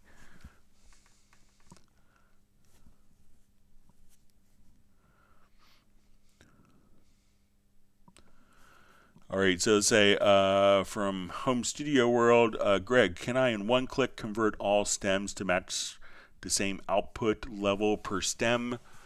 So let's say if we had a number of files and this could work horizontally, horizontally or vertically, select the files and you could come over here, go to audio, to processes, you could say normalize and that way they could all normalize to a constant value if you wanted to do that. So select all the tracks, go to audio processes, normalize. So you can try that, see if that gets you where you want to be.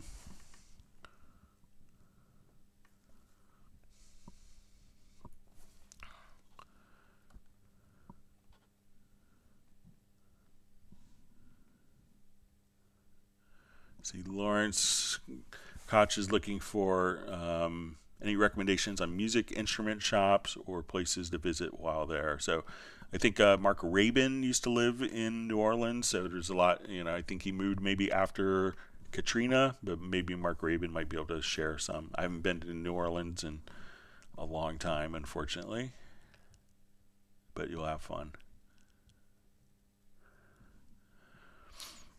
All right, Estrada Base asks, uh, can we use sound libraries from Cubase and other DAWs or just as standalone? So if it's like an instrument, you could use the instruments, you know, because uh, you know it's being played back through HALion Sonic SE, and that works as an AU, VST, or AAX plugins. Um, but if it's the content, I, I'm not sure you may be able to see the content may be protected like loops those may be protected uh, to work only in cubase but the if it's like an instrument sound um, you know like a lot of the sample playback instruments uh, and you could purchase Retrologue and Padshop to use in other daws as well.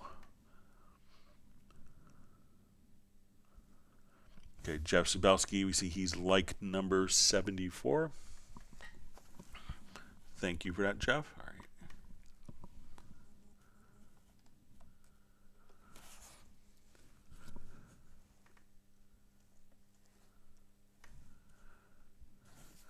All right, so we see from uh, Rex Effect, uh, hello Greg, uh, Cubase Pro 12, Mac Mini M1. Sorry, having problems with audio connection. Input device keeps disconnecting.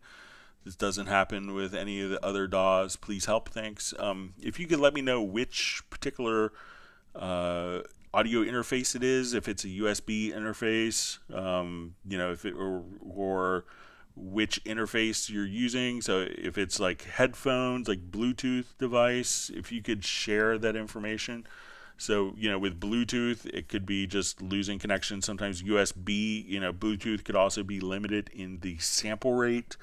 Uh, USB could be limited with power supplies and power options in Cubase as well. So if it's like an underpowered USB port, that could cause problems for you as well. So, but if you uh, if you could share what audio interfaces that you're using, that could be helpful. All right. Always so wonderful to see Gerald Ely from Martinez, California. Right, so we see Paul McCartney. Uh, Jeff Sabelski says Paul McCartney rocks slash punks out on a new Rolling Stones album. Dirty, dirty, dirty bass, cool sound. I heard about it, but I haven't heard the track yet. But you know, you have to remember Paul was an early fuzz bass devotee from Rubber Soul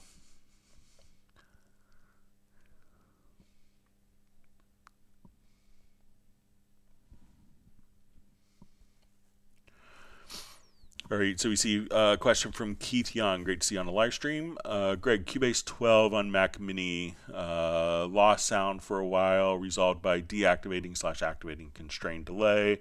And plugins, please. Advise how to keep the plugins and how to check latency on an individual plugin. Thanks. All right, so when you want to see the uh, latency on an individual plugin, if you go to uh, your studio menu and we go to plugin manager. So let's click on a plugin. Um, I think it might you might be able to see it.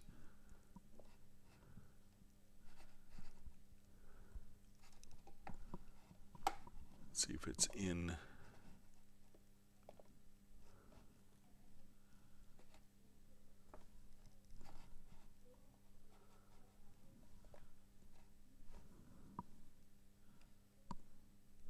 right? So you can see the latency listed right here in the plug. So you can see the latency indicated right there on a plug-in basis. So you can see like auto panner, if we go to distortion, let's go to multi-band stuff is always fun and generally latent. So you can see the number, the latency in samples right there. Now, if you want to see it in milliseconds, what you could do is if you go to like the full mixer, you could activate the channel latency settings here. So if you go to the setup window, activate the channel latency and as plugins are instantiated. So let's say we'll go here to inserts. I want to add, a, you know, a multi-band. So we see kind of the total amount in milliseconds of the plugin delay on that particular track. And if we click on this little drop down arrow, you can see the exact latency in milliseconds or samples of each particular plugin. So you can see it just listed right there.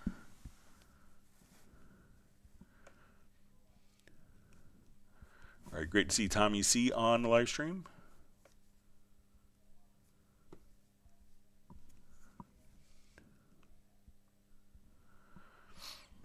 All right, so we see from uh, Knockhead Studio. Greetings, Greg. How can I export my track separations with plugin settings embedded into the WAV files for it to be imported into another DAW with final mix still intact?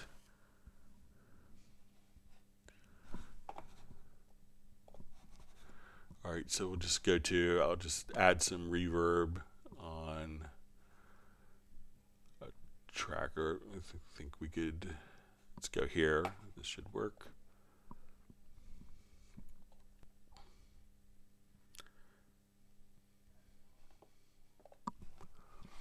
Okay, so let's say we're listening to this particular project. So we have reverb on the kick. And we have reverbs on the guitar.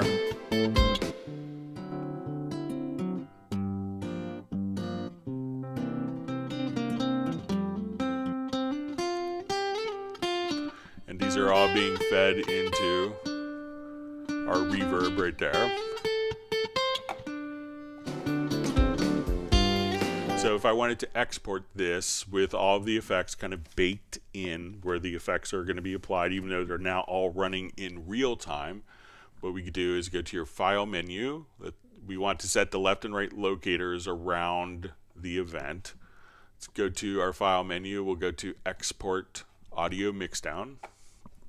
We want to select multiple. So I say, okay, I want to include my We'll bypass my stereo out. I want my groups to be rendered, my drums, guitars, keys. I want to render my effects by themselves. I want to render my virtual instruments and all of my tracks. All right, so the key setting as to what particular processes are will be embedded is in this effects section.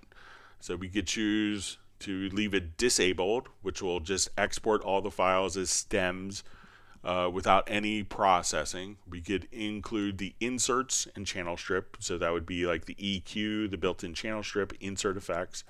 And we could also include send effects by choosing groups plus group slash sends. And if we have an effect on the master bus, we could include the master section as well. So I'm going to come over here and include the groups and sends and let's just create a new project. So I'll say, let's export my audio mixdown. All right.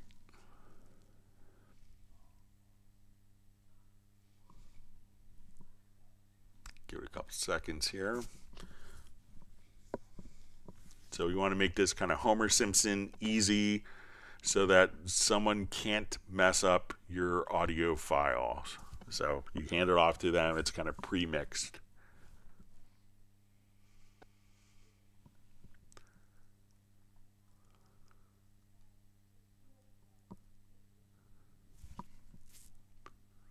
And we could set up different, you know, different uh, different selections, different functions.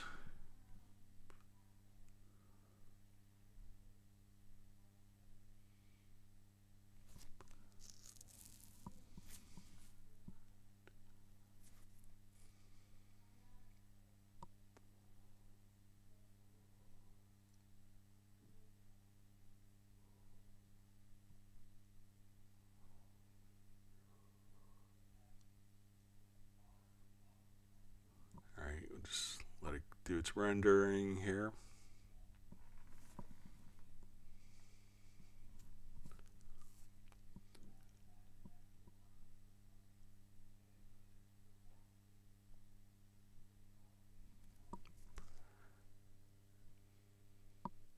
All right, and now here's our new project. So if we see our groups, will be kind of our drum group. Now when we want to come over to our kick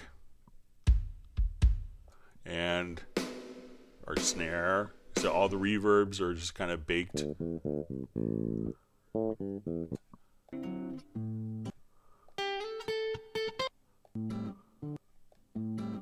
All the panning is intact. So that's all you have to do. So again, just come over to export, audio mix down, and select get to select multiple, and then you could under effects select group uh, sends, and then all of the effects, and or if you have master effects that you wanted included, you could choose that as well.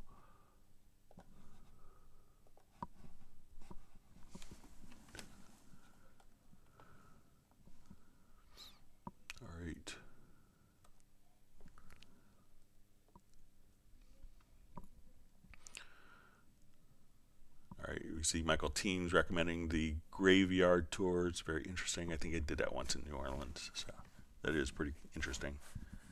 Sometimes people get a little too voodoo on you, so.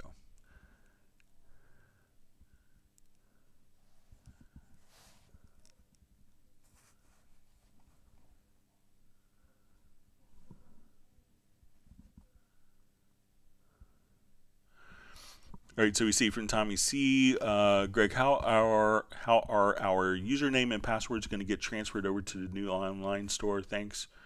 Um, so I, I haven't tried it yet myself, um, but I think that the online, you know, the credentials that you use for the AskNet store are no longer uh, I, I would, and this is just speculation on my end because I haven't done it yet, but I would think that those are not going to work and it may be tied directly into your My Steinberg account.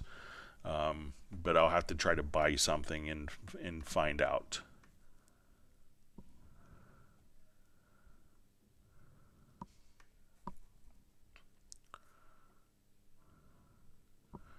All right, so we see Tim Weinheimer on from Mission Viejo. Says, thanks Cubase and Greg for all you do to make Cubase the best DAW. Thank you very much. Kind words. All right, so we see from uh, Wilfried, says, by the way, DaVinci Resolve does not support ARA2. Long was no reason to support VST3. It comes because Dolby Atmos was necessary, so no deal with Steinberg.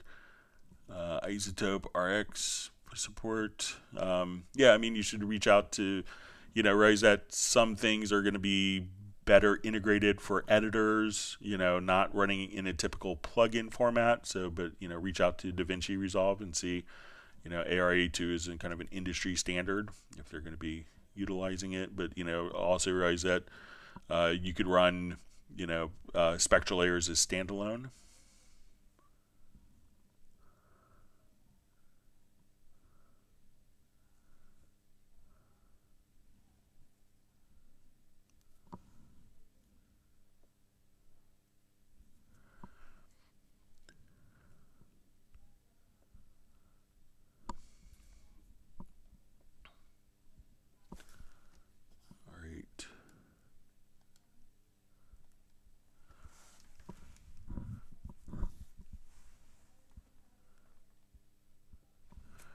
All right, so we see uh, Home Studio World says, uh, Greg, how I will follow you next month, not clear to me. It seems you will not continue via YouTube. Thanks. So we're always going to be doing these on YouTube. Generally, what happens the last live stream of the month, like after our first, you know, nine months of doing live streams, you know, we decided for Christmas uh, to do just like, you know, where people could go on a Zoom meeting and just kind of meet. It's not necessarily like presenting stuff, but we may have special guests and share insights and actually have other people talk and communicate with each other. And you could meet people from all over the world that are on the live streams, which is, you know, it's really always wonderful conversations. I look forward to it every month. So we will always do the live streams.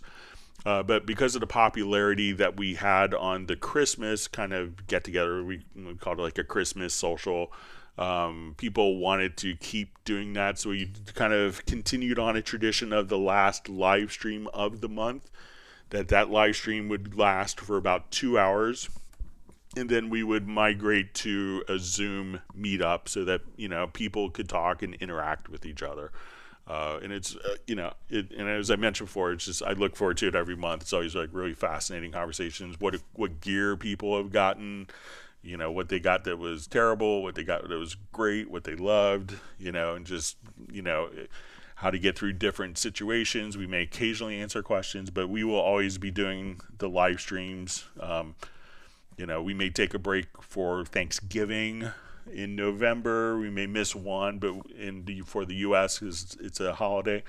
But you know, we'll continue to do the live streams on Tuesdays and Fridays unless I'm traveling specifically, or it's a holiday, or there's a trade show I'm involved with.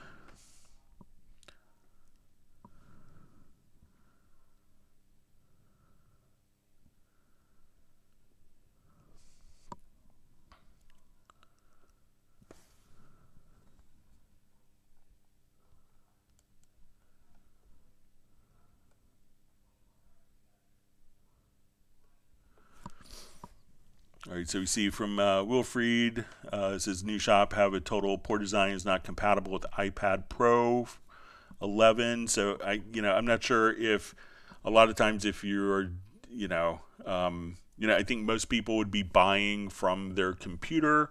So I haven't tried it with the iPad Pro 11, but I think you know most people would be purchasing through uh, through their computer so that you could download directly onto your system. So I, I, think that's really more the design intention. And, you know, I'm not sure if, you know, I know that there's sometimes if you buy through the App Store on Apple that get to pay 30% of all the money to Apple.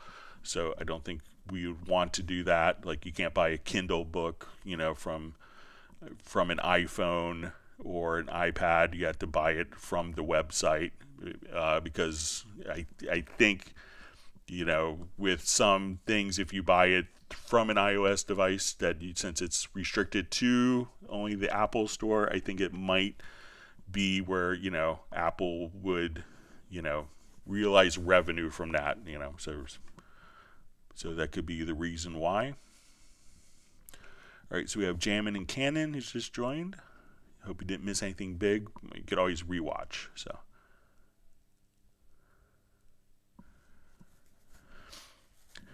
All right, so see Keith Young. Uh, one more question, please, Greg. So you could ask as many as you want. Um, is there a limit to the number of plugins on a track before you start running into trouble? Thanks. You know, I sometimes I, you know, I, you know, it could really depend upon your system and you know the plugins that you're using. So some plugins can be very CPU efficient, and you can run lots of them, and some may not be designed to be run CPU efficient. Uh, realize that if you have 16 inserts on one particular track, that often that one track may be utilizing one CPU core. So you could sometimes put 16 tracks, 16 inserts, like heavy inserts on one single track, and then uh, you know when you go to play, your audio performance may be just totally killed, and you look at the performance in the performance meter in the operating system. It's like it's not utilizing the other cores that I have. And that's because it's kind of one process of one audio track and it can't split those up to different CPU cores. So, you know, there's always going to be some issues like that that can arise. I would say, you know, that in modern computers, we could run lots and lots and lots of plugins. If you run into problems, you could freeze, you know, particular plugins. You could, you know, there's lots of different options. So it's, it's hard to give an exact number of, you know, plugins, you know, because 16 plugins from one company may be a lot less CPU efficient than 16 plugins from a, a, a different company. But you can run a lot of processing, um, and you know, but sometimes, you know, I see people that are running like you know, a separate compressor for one particular word, and they have nine compressors all running at once, and they kind of carve the frequency response. Um, so at a, at a certain point, I think it gets to be counterproductive, and that could be a personal opinion of mine. But you know, if it makes it sound great for you, we're happy.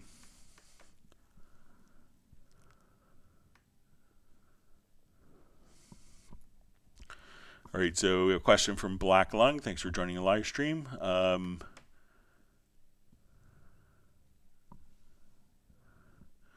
uh, I have several VE Pro instruments, each with its each with 16 MIDI channels. I'm using 16 stereo outs with the different MIDI channels assigned to the different outputs. Uh, is there any way to set up when I select a MIDI channel on track that I'm working on the output channel that the MIDI channel is assigned to on the mixer moves to it like the instrument track does. So, you know, right at the a MIDI track itself doesn't necessarily have the information within a MIDI track to associate the output. So there's no way for, you know, and it's just the nature of MIDI. And that's one of the benefits of working with a particular instrument track is that when you select it, that the, you know, the audio component will be selected as well. But you know, MIDI tracks don't, you know, and the MIDI information, you know, once we are sending MIDI out, we send the MIDI out, but you know, the MIDI track itself doesn't know where the audio for that source is going to be generated. So it won't automatically select MIDI tracks like it does instrument tracks. I know that could be problematic if you have, you know, 160 tracks going on but you know consider maybe if you could migrate to instrument tracks Gerald Ely likes to Homer Simpson easy concept. It was my it was always my long standing way to get features put in, you know, of telling Germans that we had to make it for, you know, think of Homer Simpson. And I go, oh, you're right. Okay. It has to be Homer Simpson obvious. That's what I used to say.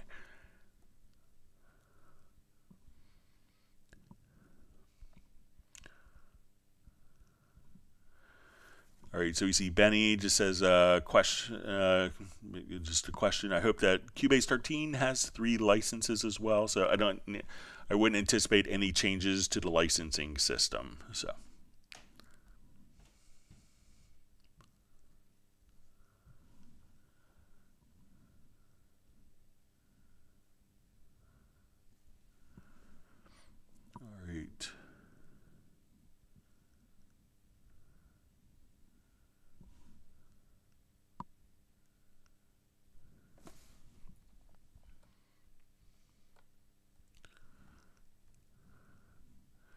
Okay, so we see Jeff Sabelsky uh, says, Greg, my product shows Cubase 12, Spectral Pro 9, Dorico Elements 4, but not Nuendo, which appears, which opens, not Wavelab 11. Wavelab 10 opens. Uh, last week attempted activation code uh, for Wavelab 11, different format. Um, so you know, let us know, you know, uh, Jeff, which version of Nuendo. So it's going to be Nuendo 12, not Nuendo 11, and um, you know, and check, you know, if you have also, if you want to send me screenshots of your, uh, if you have vouchers or your Steinberg Activation Manager.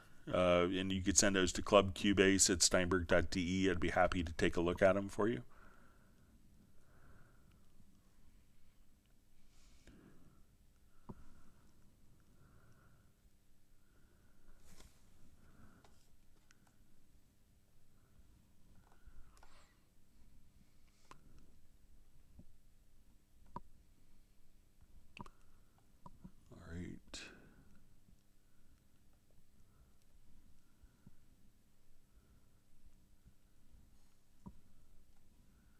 All right, wonderful Jay from uh, Secret Studios on. Glad he can make it today. And he was also granted one gallon of strawberry cheesecake ice cream.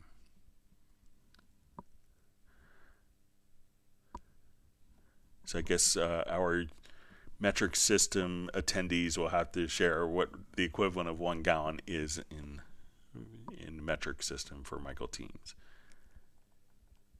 case. It's it's very generous though.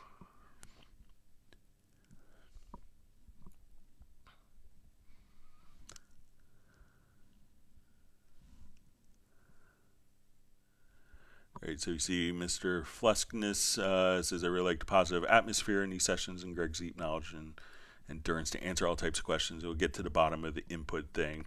You know, so realize that, you know, you just have to tell, you know, like what source is going to be fed into the channel. It's like if you have a particular, you know, like you have to pair a Bluetooth mouse or a Bluetooth keyboard with your computer so it doesn't work with every computer, you know, so I think once you get it down, it, you know, you don't have to worry about it much. But there's a lot of concepts when starting off. But and again, thanks for joining the live streams.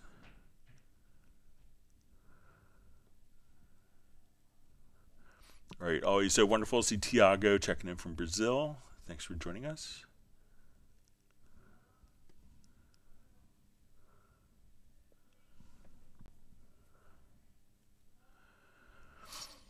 All right, so we see um, Secrets J for Secret Studios. Uh, hi, Greg. Are Nuendo and Cubase MIDI 2.0 compatible? I've been looking at some MIDI controllers, but don't know if the displays for the controllers will auto-populate variable names from Steinberg. Uh, so, you know, we're still kind of waiting for stuff to happen on the MIDI 2.0 front, but obviously we probably have a new version coming. So, you know, when a new version is released, you might be able to get some additional information. So, I think, you know, there's MIDI 2.0 controllers uh, that are out, um, you know, that could have like, you know, such increased resolution. Uh, you know, like Native Instruments has their recent controllers. Korg, I think, just announced a new MIDI 2.0 controller um, that can transmit the MIDI, but there's still not a lot of instruments that actually support MIDI 2.0, especially in the hardware realm. So there's controllers coming, so we'll just have to wait and see as hardware develops.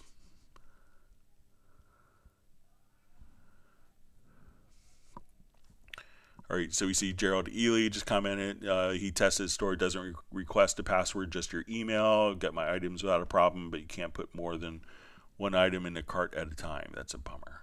All right, I'll, I'll pass along that feedback.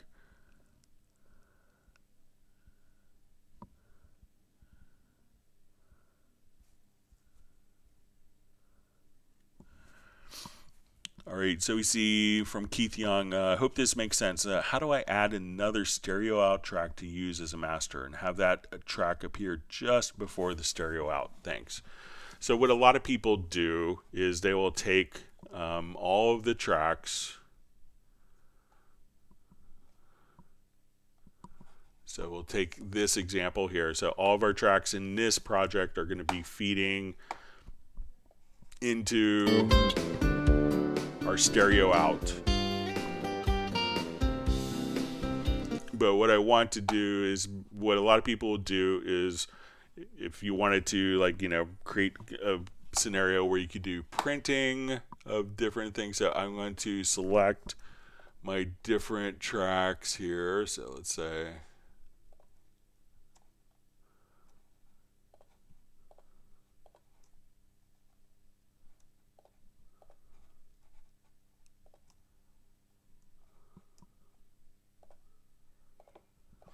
Okay, and then I'm going to right click and we'll say uh, group channel to selected channels. So we could call this kind of like a pre-master group.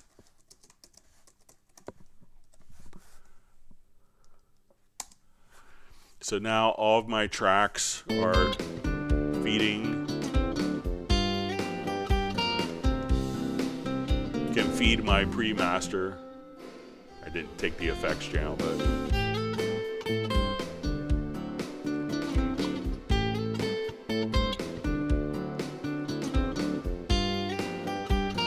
So, and now, so you could build your template so everything is going into the pre-master group, and then that group then goes into the master.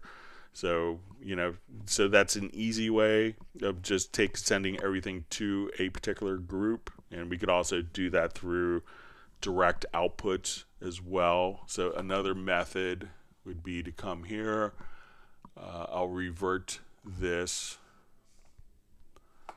just to make it even like a little simpler and where you don't have to use an effects end.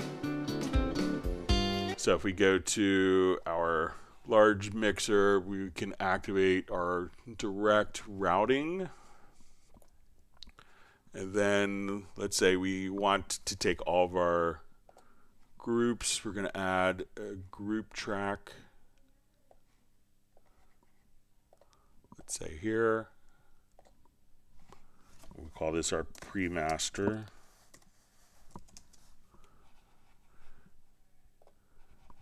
And I could select all of my tracks.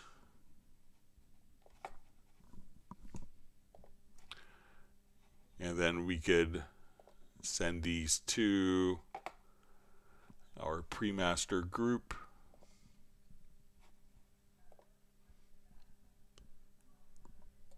If I had Q-Link turned on, that would help.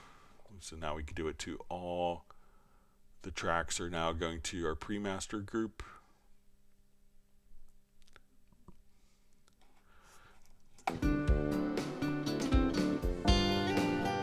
So at that point, everything is being bussed out to this group, and then you could have the pre-master group right before the stereo out, and kind of have like a duplicate source, and you could do processing there if you needed to as well.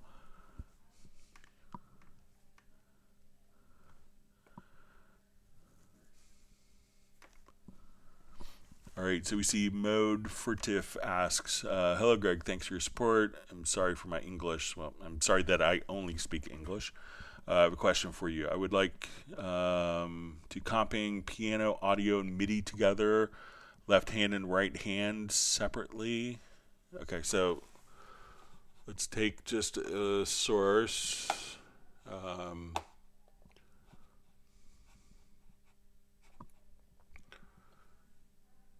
Let's see if it's in my, yeah. Let's take this. We'll take just solo piano.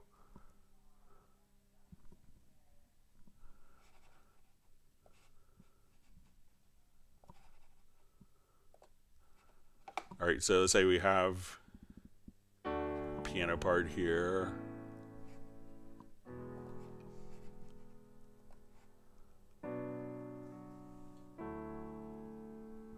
Okay, so let's say I want to take everything C2 below and put that um, into another track. So let's just come over here, I'll add MIDI track.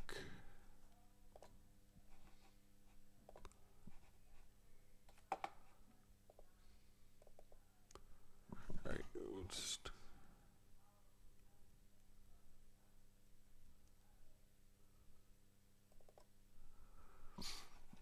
Okay, so I will.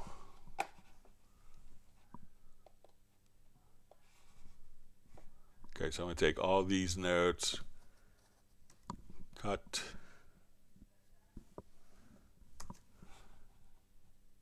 All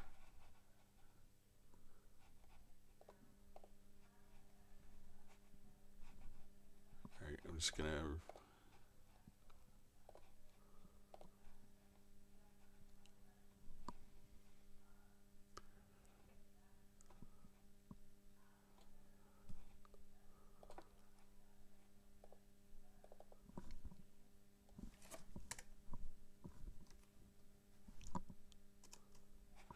Okay, so we have like left hand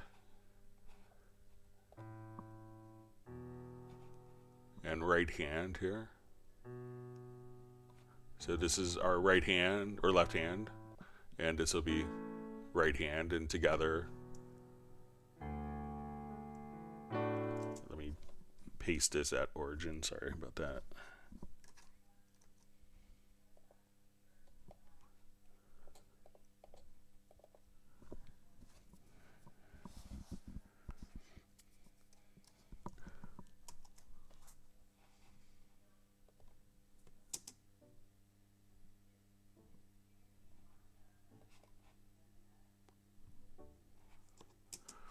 Okay, uh, so we have this set up. Um,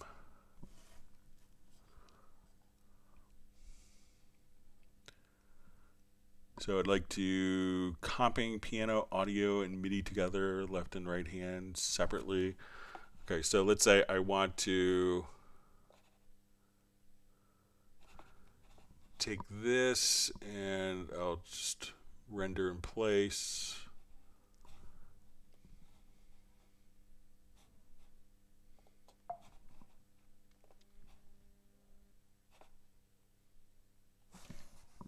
Okay, let me just not have them mute it.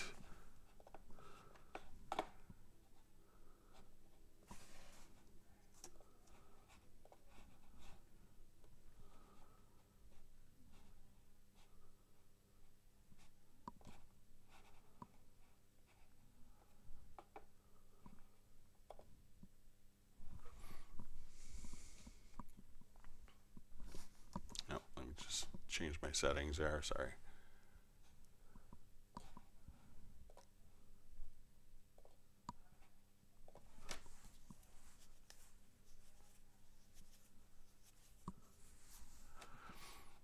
Okay, so now if I wanted to group these together, I could hit Control G and group these together and hit Control G so we could take the audio and the MIDI. So if I want to cut, I could just come over here, cut the left and right hands and keep the MIDI and audio aligned. So if I cut the MIDI, the audio is cut because those two events are going to be grouped together. So let me know if that's what you want to do. Um, if not, you know, just just let me know.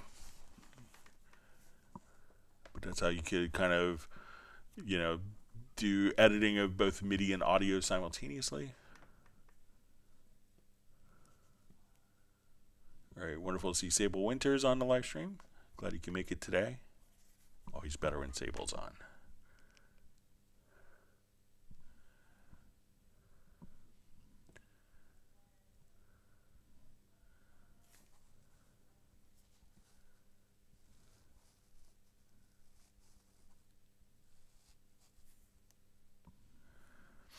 All right, so we see maybe a further clarification. It says I put MIDI and audio in a folder and I select the option group for comping audio, no problem. But with the MIDI, it's working wrong. You know, so you know, let me know if that kind of makes sense. But if you're doing, um, you know, so if that would work, but you know, realize that depending how the MIDI is recorded.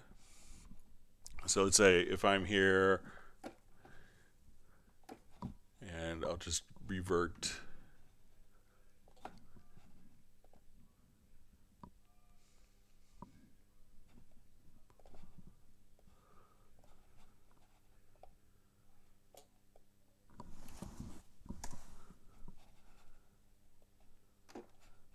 All right, so let's say I'm punching in here, and when we punch in,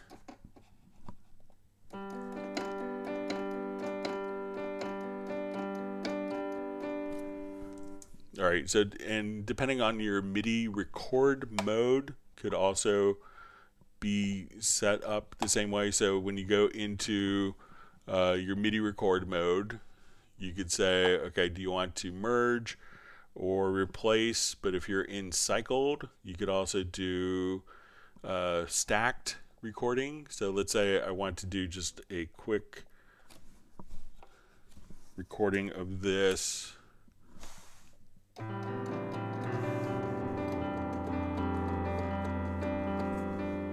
Alright, and then we'll go back. So now when we want to look at our different lanes, here we could see our lanes and grab the comping tool to choose exactly which part that we want to work with. So you could comp the MIDI, but it could really be dependent upon which record mode you're in. So if you go to like stacked or new parts, you could just, depending if you're in cycle record, then you could comp the MIDI in the same way as you would an audio performance.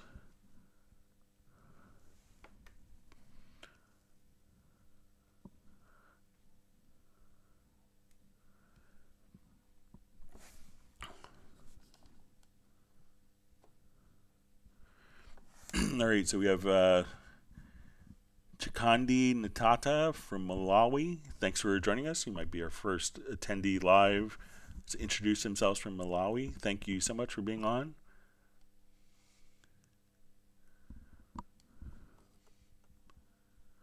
Okay, Lars asks, uh, what happens routing wise when I send a track to two group channels? Thank you.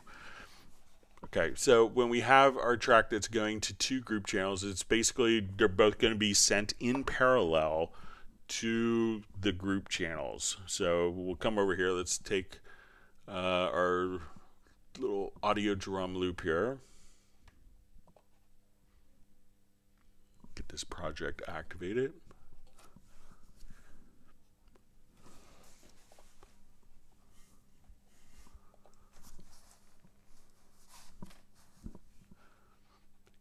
So we'll solo this and all right, make sure I don't have. All right, so we have this and we look at our mixer. So now I'm going to add two group channels. We'll make them stereo. All right, so now we come here, we're going to go to my sends and we'll say, okay, we're going to send it to group two and to group three. And now we can see that these are going to be going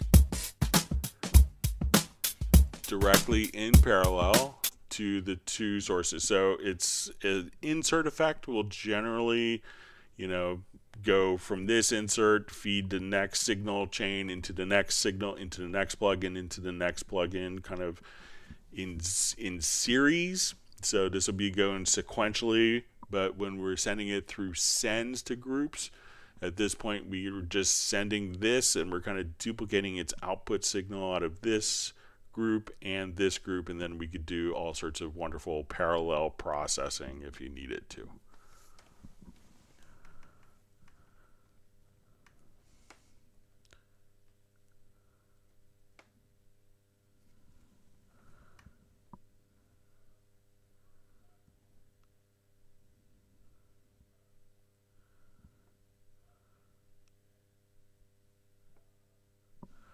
Okay, so we see from uh, Home Studio World, um, and we see Greg. Uh, I mean, from pre-gain, let stems have the same input gain with shortcut. We're using logical editor, and I think this was like with the stems. Um,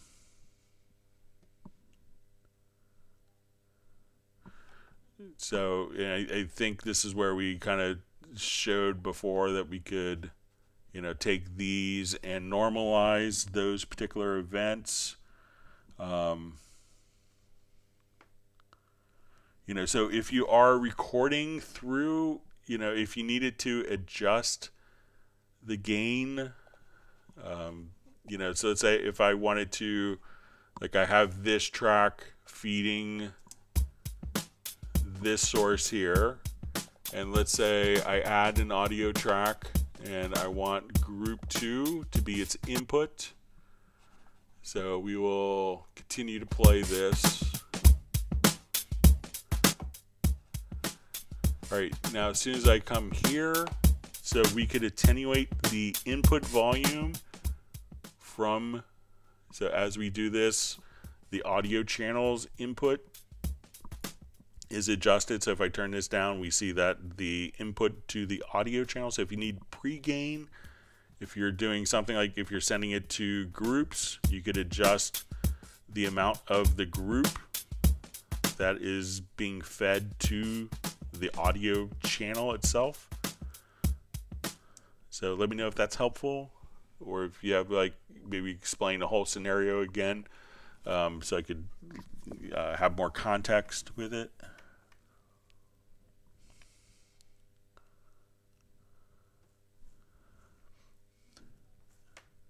Everyone's happy that Sable's on.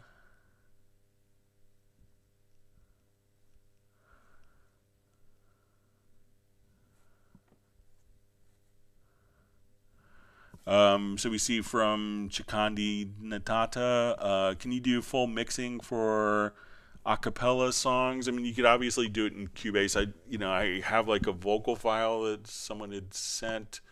Um, I'm not sure if it's so copyright friendly to play, but you know, I don't, I don't know the, you know, the chords. I mean, you could obviously do it in Cubase. I don't have like a file prepared to really do it, but you know, you could determine, you know, the chords and kind of build upon the chords.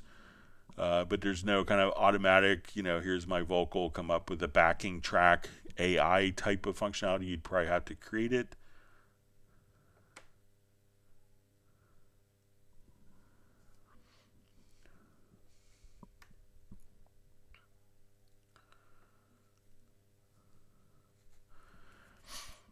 All right, so we see from uh, and Canon, uh, any suggestions on tutorials for SpectraLayers 1? Uh, having problems on a live recorded guitar track with a lot of bleed through.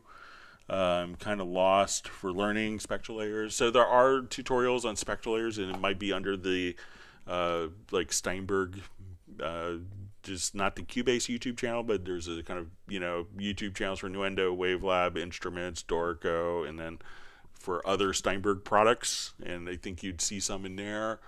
Uh, let me see if we can find, you know, some of the more advanced versions of SpectraLayers will allow you to be able to take a you know one source like you say okay the cymbals are bleeding into the drums and then you could use the cymbals as the basis to extract those particular parts from a recording, but I don't think that's in SpectraLayers 1. Uh, but let's see if we could find something that's kind of uh, appropriate here.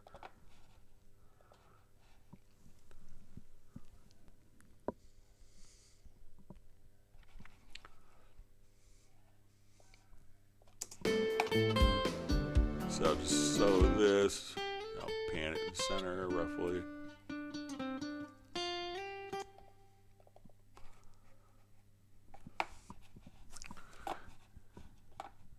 Right, so we will take this uh, part and we'll launch it into, and I have the pro version, so I, you know, so I may have more options than are available, you know, but if you wanted to kind of just, you know, think of this again as, you know, we're almost taking this waveform and kind of flipping it, you know, like 90 degrees, if you will. So we're kind of looking at the inside and we see the low notes, high notes.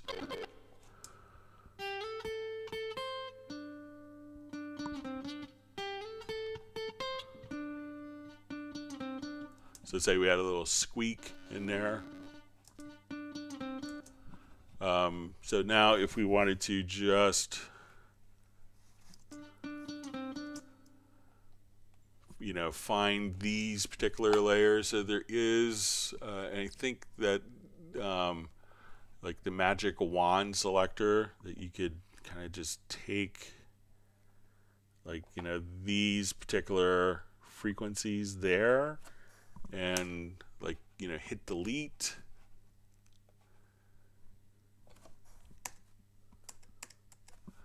and be able to kind of get rid of some stuff like that you know just be able to you know, take those particular frequencies and be able to kind of get rid of different elements like that, you know, so sometimes, you know, using kind of the different selection tools and as we look at different components here, you know, but there is kind of a function in the pro version where you could, you know, basically find a particular um, it might be under process, but you could do like debleed and you could take like the basis of one audio track. So let's say the guitar is bleeding into the vocals.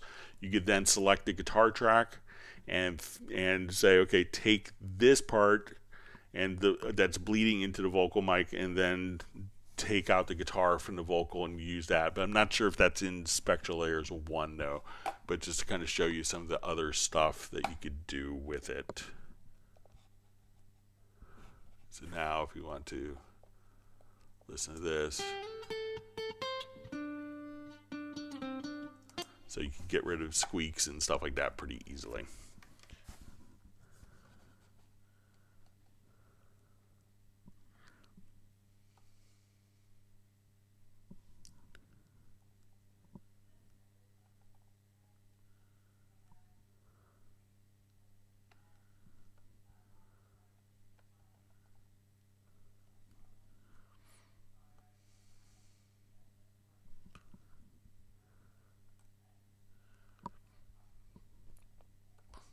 So we're just seeing from uh,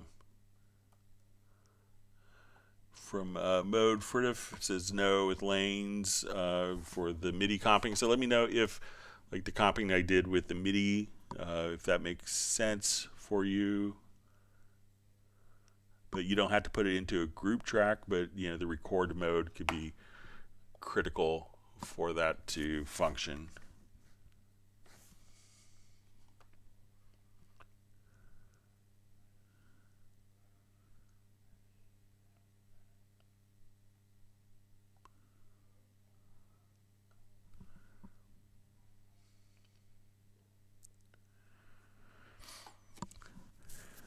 Right, so we see, you know, from mode, Furtive says, uh, thanks, and is it possible for MIDI? So let's see if we can get this kind of set up.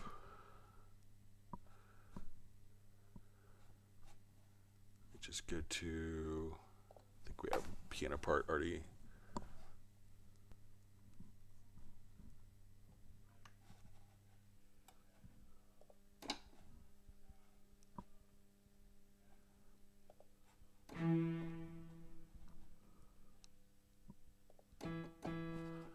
Okay, so we'll come over here and I'll just do a short comp of MIDI and audio. So we'll have our MIDI. I'm going to send this to group channel. Then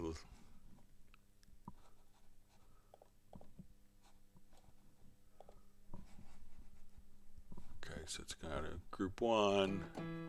And let's go create an audio track. Group one as our input.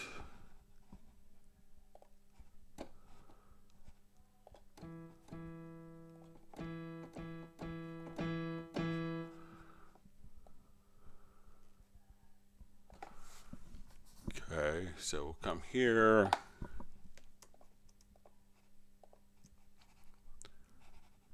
And I'll just put it into like a cycle record.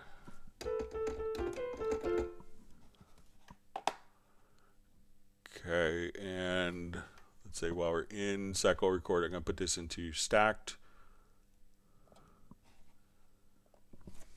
Okay. All right, let me just set up a longer record mode here.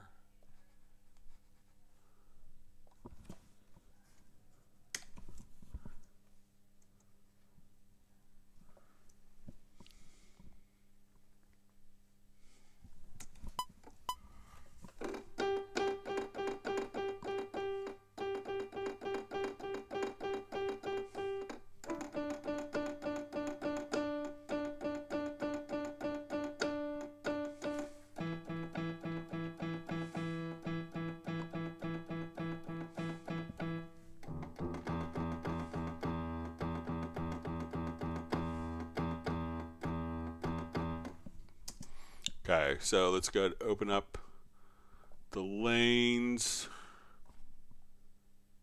for these. Okay, let me just adjust my vertical height here. I'll just lose it.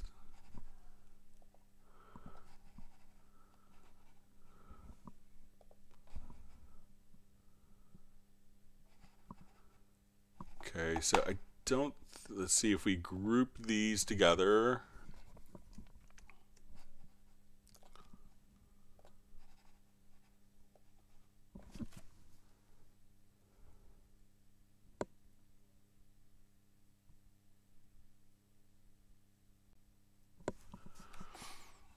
Okay, so take this and let's see if we group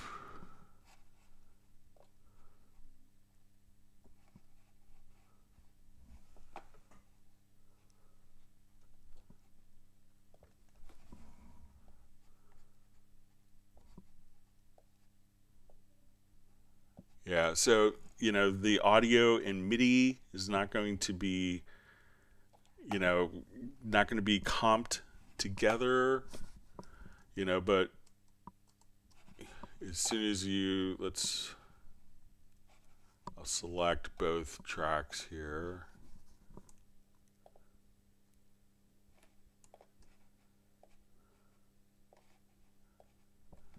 But you know what I would probably do. Um, you know, I don't know a lot of people that work. I, you know, what I would do is say, okay, well, I want, you know, this, and now I take all of my comps that have been done in in MIDI, and then I would just come over to a render in place, and then just have that comped, you know, just for the particular MIDI event. But you know it's kind of it's, i don't know of a way to comp both the midi and audio but you know i'm not sure you know if you benefit from having the audio if you're going to be comping the midi because at that point you would just do the comp in the midi domain and then render it to audio. So it could be just unnecessary if you know to have to do the comp in two different places. So in realize that the MIDI comping is going to be slightly different paradigm than the audio comping. So maybe just comp the MIDI if needed and then render the file. That's how I would approach it.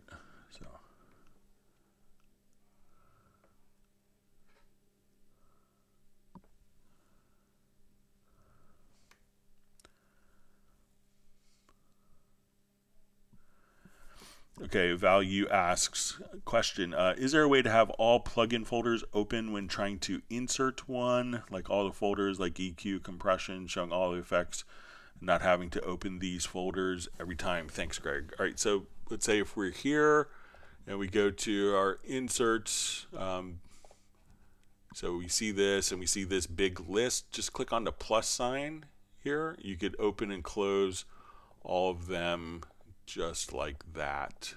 So this way you don't have to open multiple ones. You could just close them all, open them all. So let me know if that works for you, value.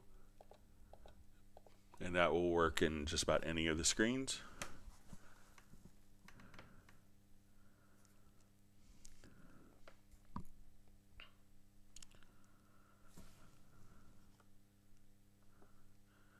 Very great to see the Heartbreak Time Machine, and he's he was happy to be the 111th like. So thanks for being online with us.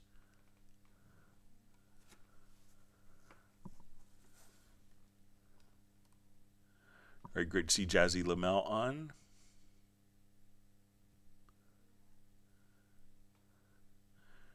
All right, wonderful Graham Witcher could make it from Royal Wootton Bassett.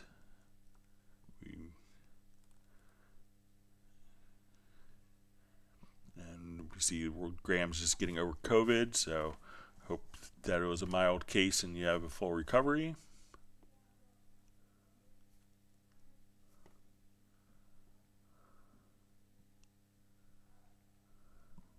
And Michael Teams is generously granted one gallon of pure medicinal chocolate ice cream to Graham.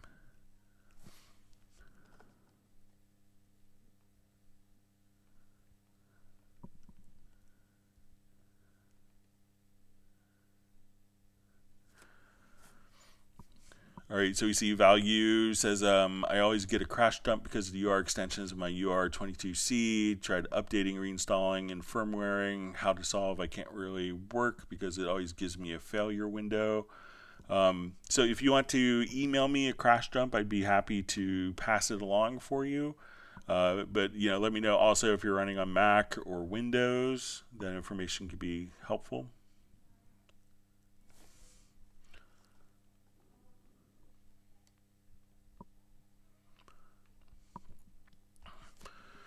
Okay, so we have uh, Jazzy Lamel asks, uh, Blessings, Greg. Can you explain some tips and tricks using the line tool? Okay, so let's say um, we want to use the line tool. So the line tool could be used in a lot of different areas. So let's start off and say, okay, I just like we had shown earlier in the live stream, uh, someone wanted to do like a straight linear fade out on like a reverb effects end or you know instead of having to do the perfect fade out that was so you know linearly smooth with your finger or your mouse you could just kind of draw in with the particular line tool Um, so that's a great use. Now, what a lot of people don't realize is that there are several different modes for the line tool. So if you wanted to come over here and put in parabolas, we could just come over here and and if we want to hold down modifier keys, we could go the opposite direction. So if I hold down control or command, we could do that if we want to um, kind of change the spacing. So let's say I want to put in a parabola um, that's two bars long. If I hold down the shift, I can say, okay, I want my parabola to be like this long, like, you know, so we could change the frequency of the parabola as well. And if we wanted to come over and look at, you know, if we had like a synth filter, we could say, okay, I wanted to come here and kind of mimic LFOs. So we could say, okay, now I just want a sine wave. And as I hold down the shift key, we could change the frequency. So if I want it to be like, you know, two per bar, or if I wanted one per bar, I could just kind of start here with the shift. And as, you know, hold down the shift key, and we say now I want it to be taller and hold down the shift key say okay we want one cycle per or two cycles per bar and then I could just extend that over we could also switch to be different you know if I want to do triangle waves instead so I could come here and put in triangles or square wave. So as we zoom in, so again, you can just do uh, lots of stuff like that. So again, if we say, okay, I want to increase the height, but hold down the shift key to change the frequency, you know, all that stuff. So you could switch between different modes. Uh, if you're in the MIDI editor, one of the things that's kind of interesting, a lot of people don't know if you wanted to do more kind of algorithmic you know, or random compositions. You could just grab the line tool here and if we grab the paintbrush you could just draw in MIDI notes. Um, I think also if we grab the line tool, if we want to put a bunch of notes in quickly, we could go straight across and put in notes all of the same pitch. So if you want to put in like, you know, um, let's say, I'll just do a new event here. I think this will just snap to our snap values. Let's say we have this set to quarter notes. And now we could select our line tool and just drag across. And we could just put in quarter notes just kind of that easily. So if you want to do quick drum programming, you can just quickly add different notes. Um, so the, and once you get into your controller data uh, in the MIDI editors, we could come over here and say, okay, I want to go to my MIDI editor, and this is where you could get into a lot of like filters, where we could just add filters in, not for in the velocity range, uh, but you could, you know, simulate different LFO type of functions. Again, just come over here and just say, okay, draw in our MIDI CC data to repeat and create kind of LFO patterns that way. So a couple things you could do, Jazzy Lamel.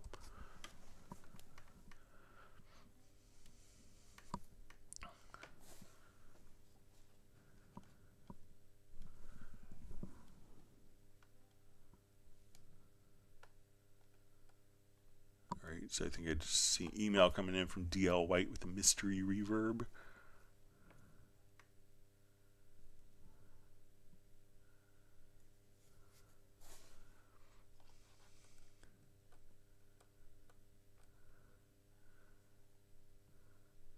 All right.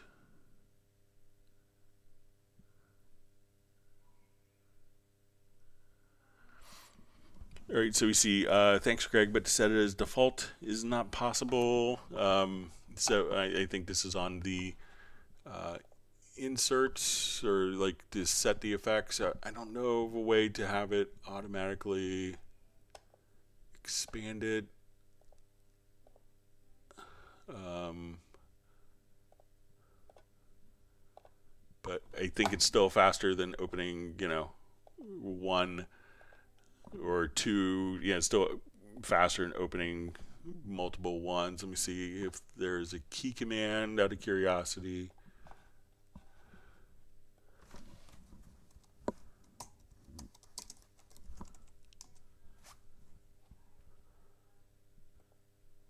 Yeah, I don't see a key command for that. You just look for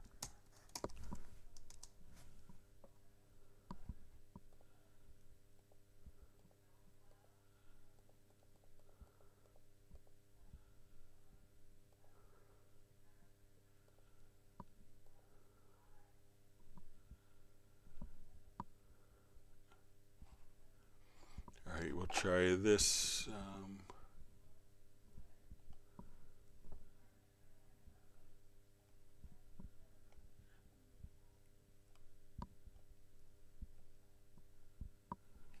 there's an expand reduce. So this option E. I don't know if this will work. No, it doesn't seem to. Yeah, so I don't know of a default way of doing that, but I could pass that along as a potential feature request. But I don't think it's so hateful to, you know, it's, it's faster than opening up two two categories. So. You see Jamming Cannon says, thanks, Greg. Looks like I'm going to have to upgrade. So.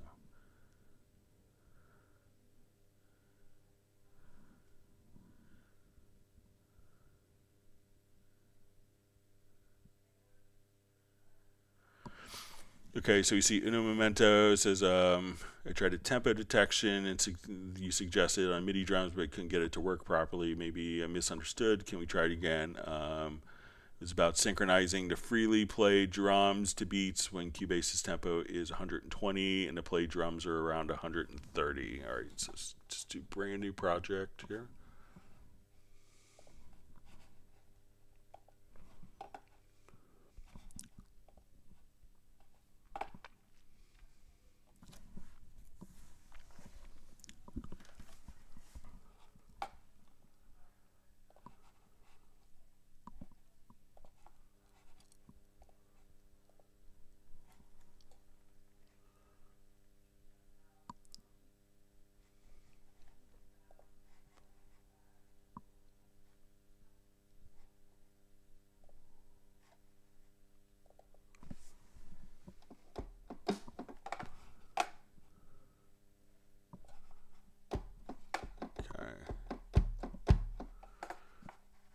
So I'm gonna set my metronome roughly to 130.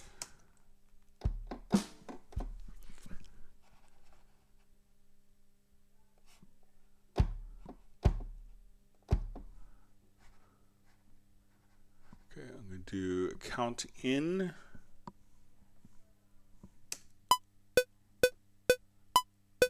Let me just set my time back here.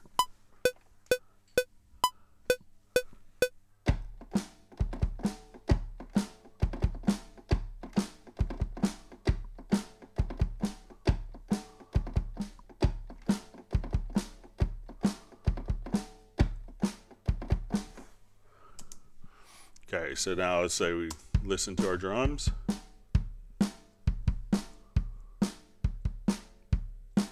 All right, so I'm going to now, let's just put it at 120.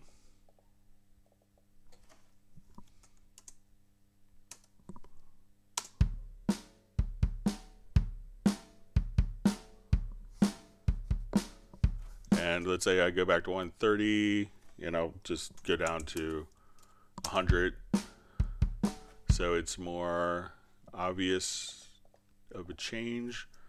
So let's say 100.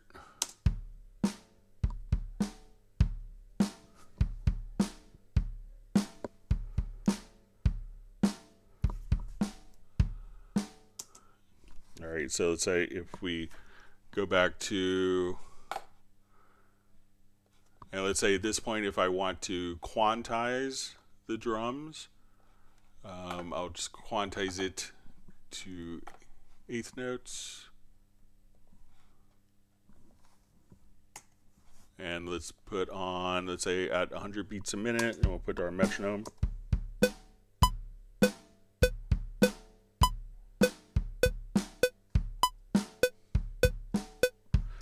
So, and at times you may, you know, like just looking at it, um, you know, another approach is, let's say you're in the editor, you know, if it's fluctuating a lot, so you could now just come over here, grab the time warp tool. So let's just grab our time warp tool and I'll say measure two starts right at there, measure three.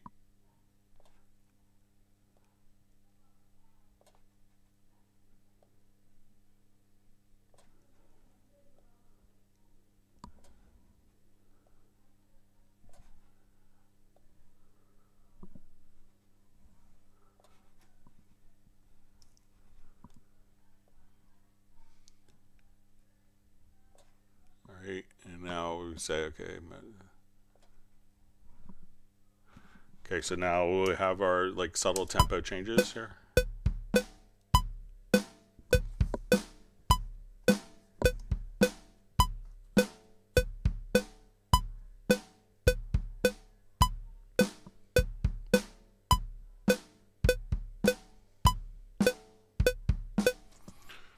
All right, so now at this point, let's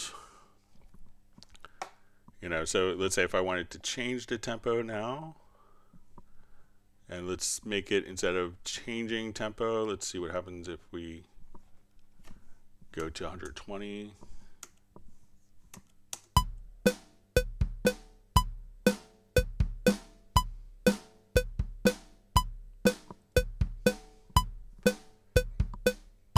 So, and if we started this whole process, let's say, back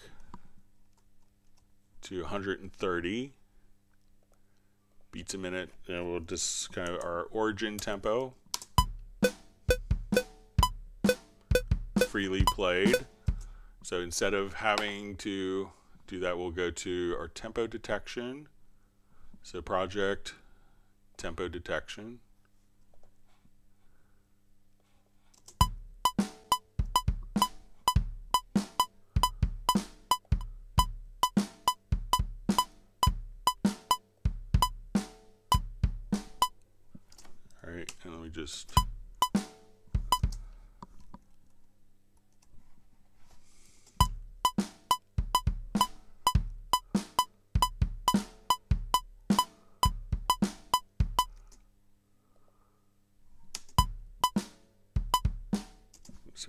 if I have just step one selected.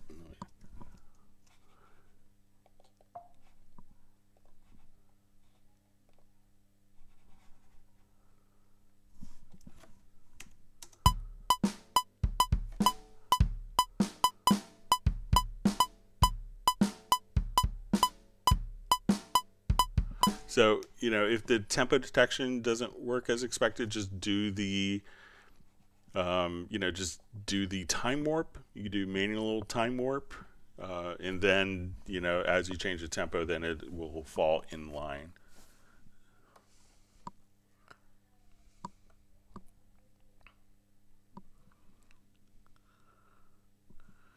we see value, just uh, visit the Opera House modeled in the Reverence plugin. So.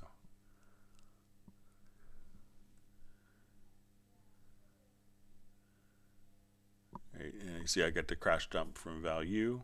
Thanks for sending that over. Okay, so we see Mark Rabin says never use a line tool. Like to learn to use it.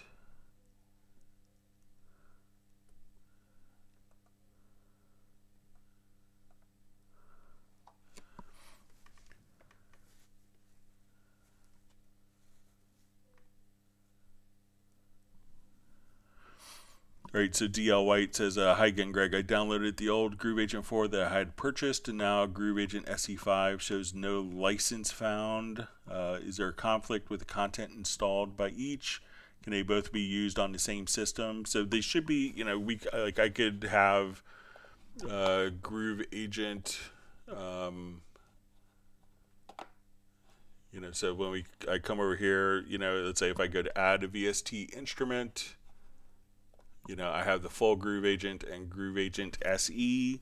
Uh, but when you say the con, you say uh, Groove Agent SE5 shows no license found. So you know, Groove Agent SE5 comes with Cubase 12, or I think since Cubase 10 or 9, 9.5, something like that. That's when the SE5 was included. So the license is found for the plugin. Let me know if you have problems running the uh, plugin like starting the plugin, or you get a license message when you try to load a Groove Agent SE5 kit. Um, but let me know that, but you, you should be able to use both of them simultaneously. But some content may require a different license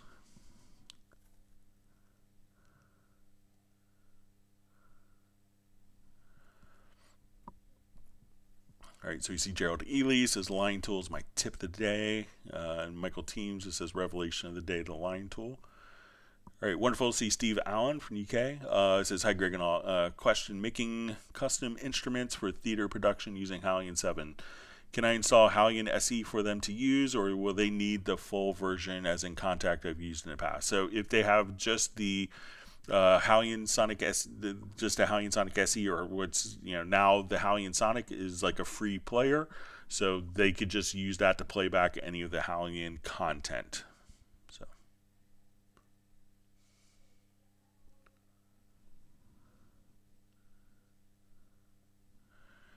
All right, so we see Michael Pierce on from Grand Chapel Studios says went to see Hania Rani at the Roundhouse in London last night. Incredible venue, wonderful chat with amazing engineer after too.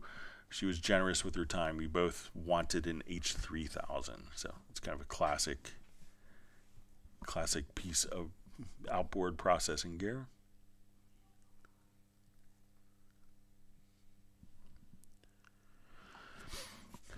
All right, so we see um, question, Greg, do you have some insider knowledge when Steinberg is going to have the problems fixed with the online shop and finally will roll out Cubase 13? Uh, so the online shop is up and running as of today. Um, so it's kind of a staged uh, process um, just to make sure everything is functioning. So there's kind of a very limited engagement for like an invite only to test and now the online shop is fully active and we're seeing how everything's going. Before there's a huge stress load of perhaps a new version coming soon. Um, so i do probably i know when the version is coming. Uh, i'm not eligible to say i would be violating a non-disclosure agreement with that. So um, but it's it's soon. So you know but it's we want to make sure you know, like add before everything, you know, and it's a pretty miraculous feat within about a month to transition a whole online shop. And we're just doing subtle tests, you know, just to make sure that it's going to work with every character in every country and the financial reporting, the collection, the taxes that are paid to each country. It's a big uh, process. So it's going ahead of schedule. So you know, but the online shop is open. It's currently selling Cubase 12. I could probably assure you that if you got if you bought Cubase 12, that you'd be eligible for a grace period update at this point. Just pure speculation on my part. See, Graham is saying, "Yep, the line tool is really fantastic."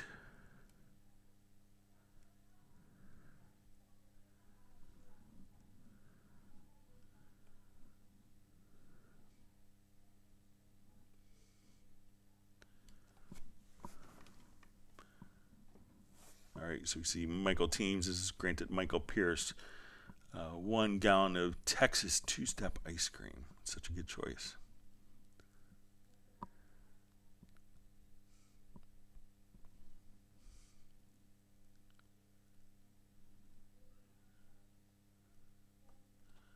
All right, so we see DL White. Uh, this is download assistant shows Groove Agent SE5 not installed. So, you know, if you install that and, you know, when you go to the download assistant, you go from the Cubase, you know, if you go into your My Products and go to Cubase 12, you know, install the Groove Agent SE5 from there, and that should help.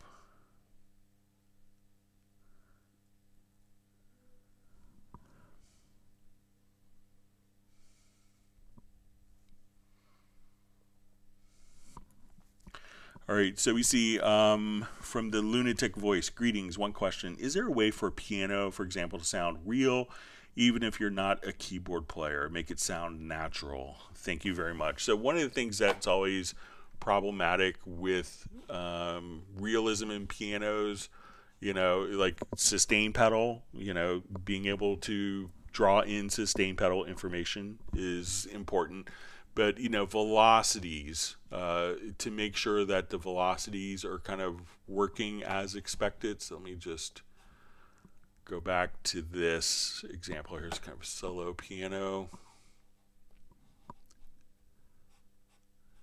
I'll revert the project.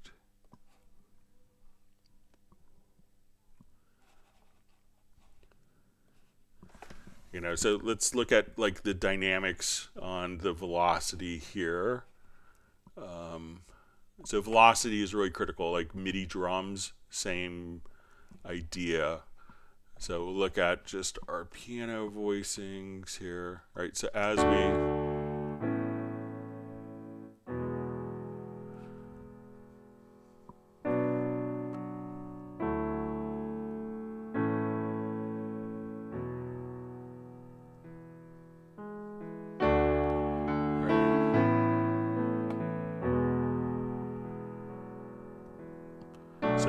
how those notes kind of pop out. And you can see how like we'll have some velocity contours softer, then a little arc up and down.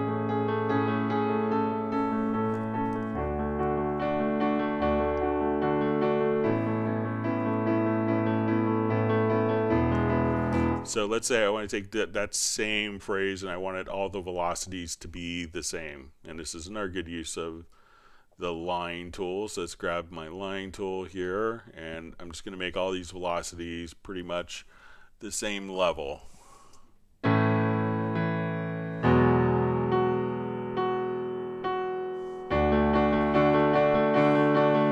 Versus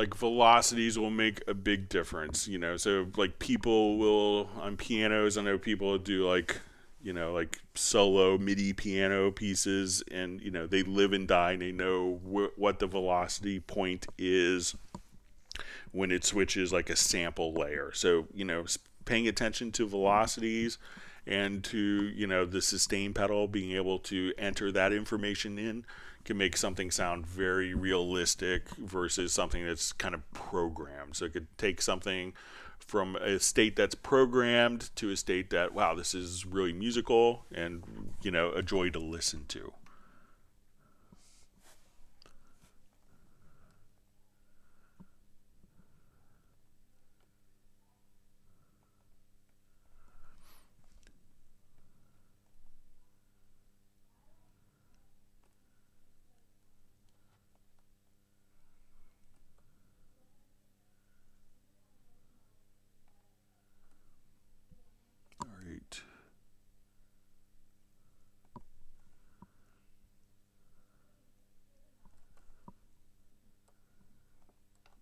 Hatfield just jumped.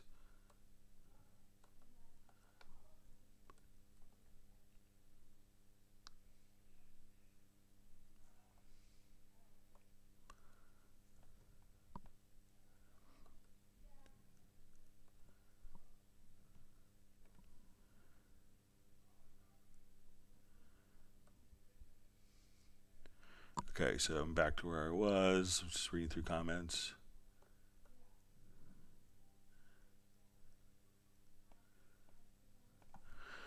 All right, so we see Jazzy Lamel asks, "Hey Greg, uh, are there any issues with compatibility issues with Windows 11 and Intel i9 processors running Cubase 12 or 13?"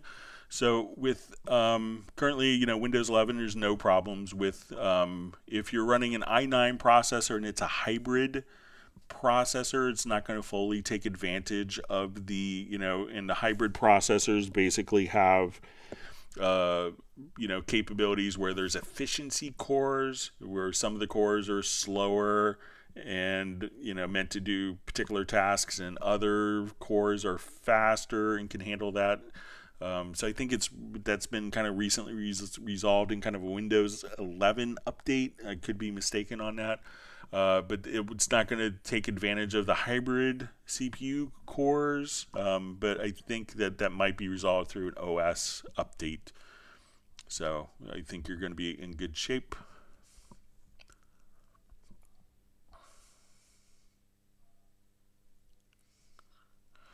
All right, Mark Padilla, Padilla asks, uh, can you answer a question? How do I turn on Rewire? So Rewire was discontinued by Propellerheads, who created it. So it's kind of abandoned technology by them.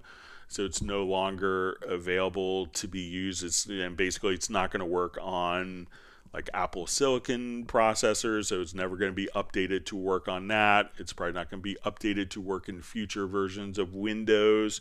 So that's why it's kind of been dropped by the industry um, because the you know the company that created you know I guess Reason Studios now formerly Propellerheads I think um, that you could um, you know basically at this point you know it's kind of been abandoned by them. So you could reach out to Reason Studios.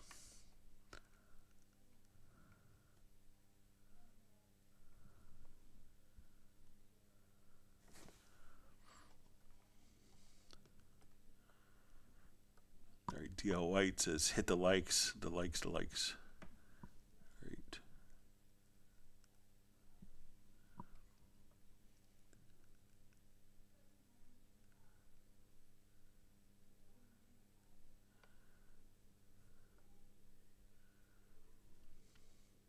You see Mark just saying, yeah, it's a drag about rewire. So yeah, it is.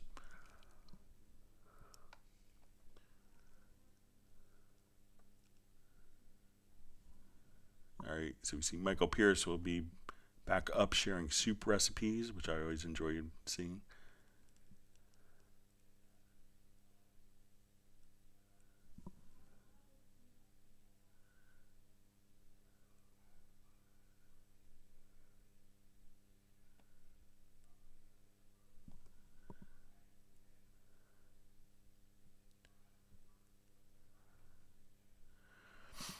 All right, so we see, uh, can Cubase make audio files for Spotify or should I use WaveLab? You know, so either program could output to the different uh, file formats. Um, so you could, you know, have Cubase automatically export and you can normalize it to, you know, minus 14 LUFS. So either program will do that. See some discussion of Mark Rabin and Michael Pierce about Daniel Lanois. So I, I got to go to his studio once in uh, New Orleans in the French Quarter. That was was pretty cool. He had kind of old, it was just in his kind of old haunted house, and you know he had an old API console, and I think he had the tannoys, like big huge tannoys that um, that Revolver was mastered on. He had in his studio. So I didn't get to meet him, but I got to hang out in his studio.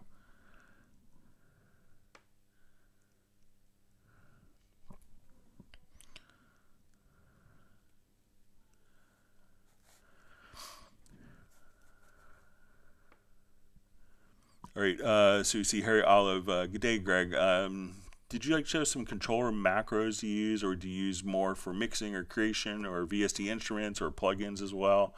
Would love to see a separate video about it if you like. Um, so I've done a lot of different. Um, I, I kind of use controllers for all of those things, and that's kind of the great thing. Uh, so let's say if I get to my MIDI remote and I have um, just set up a scenario here.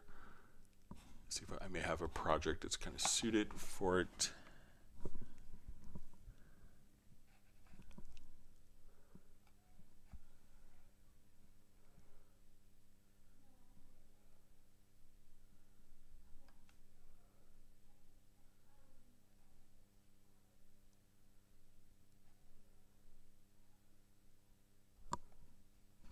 maybe not. All right, so let's say like you know we have a controller here. So you know one of the things that you could do is just create you know like let's say I have a limited number of buttons. So I could come over here and we could create uh, mapping pages.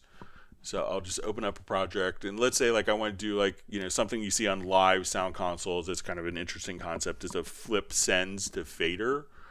So I will just open up project. All right.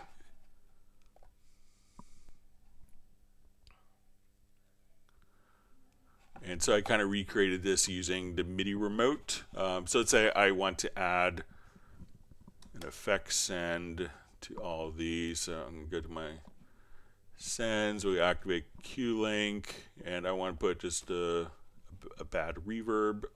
We'll just put like a a healthy reverb that most people wouldn't use.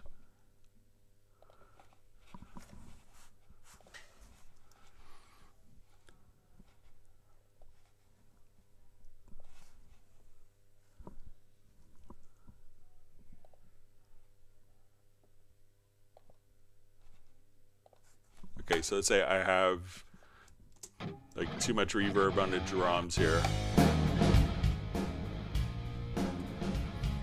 All right, so what I did is I created, um, so if I go to my MIDI remote, I made just a plugin setting, and I'll show you kind of what I did. So I just said we're going to flip, um, send one, flip to fader, right? So each one of the faders now, we can set it up in banks of eight, so that instead of this controlling volume, once I've loaded up this mapping page, I could come over and say, okay, we're to go to, I think it's going to be under mix console, mixer bank zone, action, you know. So we could come over here to channels. We go to channel one, kick, and, you know, we could set how many faders I have. And I say, okay, let's go to my send slots.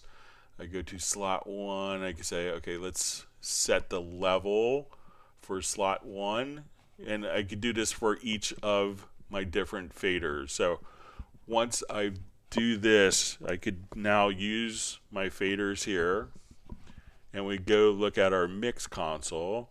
I could now be controlling just the send levels on the faders. So let's say I have eight faders I'm playing and let's say I'll just kind of solo the tracks so we could have this be completely dry. Now when I move my MIDI remote, one, it's dry, and I bring the fader up, and now I'm controlling send one. So as I want to get to send two, so maybe I want less reverb on the sub kick, maybe no reverb. So send three. So I could as I do these these eight channels, will now just I could control these independently. So I'll just solo the folder here. And then if I need to control, so I have eight faders, so I'm adjusting my eighth fader, and I have buttons where I could turn on the send, and I could also flip from pre to post fader. So if I want to bring down all of my reverb on these channels or bring them up, so I could do the first eight, then I could assign, since I defined it as being eight faders, I have like the next bank. So I have this button, and when we look at the next bank, we'll just come back to the mixer. I hit the bank button. Now I'm doing channels 9 through 16. So, and then previous bank, I'm doing channels 1 through 8. So instead of having to utilize, you know, I could just come here and say, let's just take all the drums. I'll just fast forward just a little bit here. And I want to bring in the effects, okay, just like I would on a console. So maybe I want on this snare.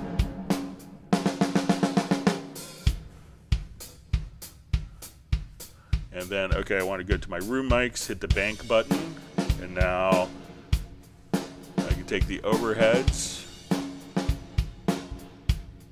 and be able to just dial in the reverb. So, and I also hit buttons on the MIDI remote. So if I want it to come over here, I could hit this button on a remote, and this would take me to to send two, to flip send two, to flip send three, send four, send five, six, seven, eight. So I could just, you know, from one controller go through all of my, you know, re- all my effect sends and set the levels through the MIDI remote. And basically, what these are, I set up different MIDI mapping pages, and these buttons will now switch to dedicated MIDI mapping pages. So we come over here and we say, okay, let's go to the mapping page actions. And I say that button just goes to sends to flip to fader, sends three flip to fader. So I could control all my effect sends and all my tracks just using this controller very fast. And again, you know, it's a $79 controller. It just has, you know, eight faders, 24 buttons, eight knobs, transport, a bank button. So just really, you know, so those are some of the creative things you could do when using, you know, MIDI remote that, you know, could often be overlooked.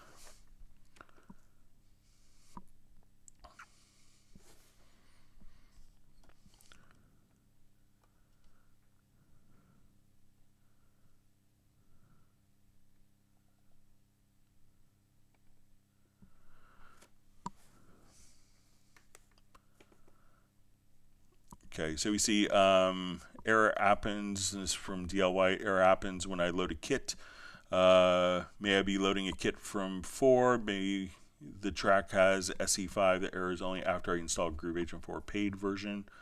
So it could be, you know, th there might be some kits that are included with Groove Agent 4 that aren't uh, compatible you know, depending on a kit in Groove Agent 4. So let me know if you load the kit into Groove Agent 4 or you get the mess the error message just to DLY when you load the kit from Groove Agent 4 into uh, Groove Agent SE and if it is one of the standard kits you have the acoustic agent and the beat agent or if it's a third party kit that you're loading up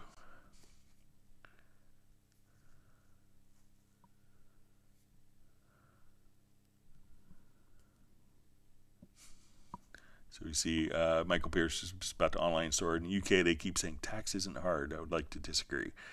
goodness knows what the online world has to deal with. Yeah, so it's you know different taxes and revenue recognition for the online store. So it gets to be very complicated. So. And if that company that's doing our online store that we're partnering with, if they needed a DAW, they would probably reach out to us because that's what we do.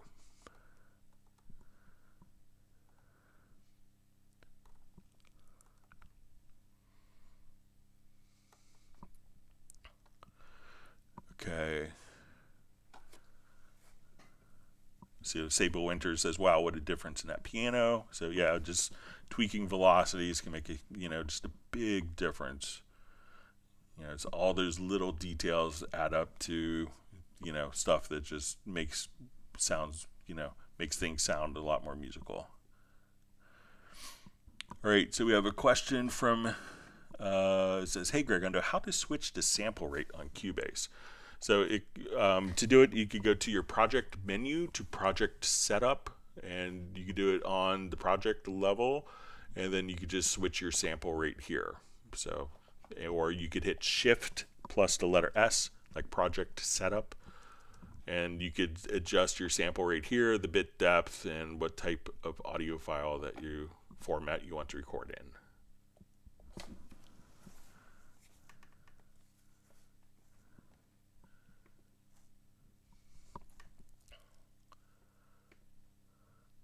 Right, so we see Stella like the piano song. That's good.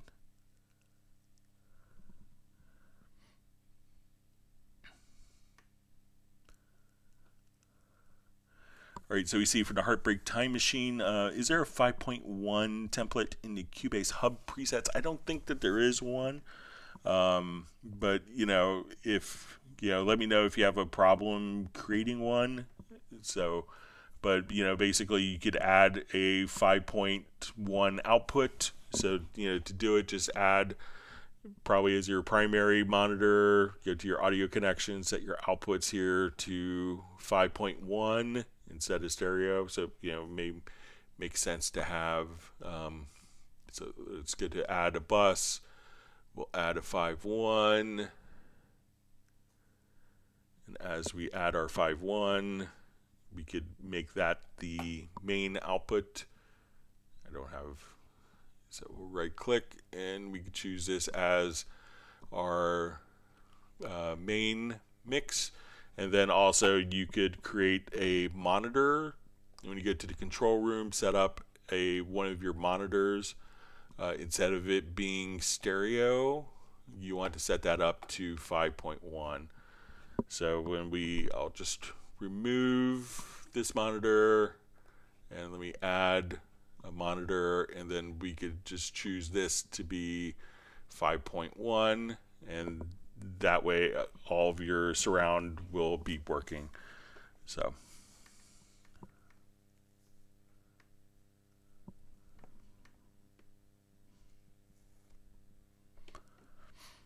All right, so we have a question. Uh, Hi, Greg. Is there a way to humanize MIDI playback for piano? I've seen this in other apps and thought I saw it in Cubase some years ago. So, yeah, there's a number of different ways of doing it. So, uh, we'll go back to our piano. So let's say we, you know, played something in and we were just kind of showing uh, just what you could do just with the velocity. So the velocity can be used to humanize, you know, quite easily. So let's say everything here is fixed velocity.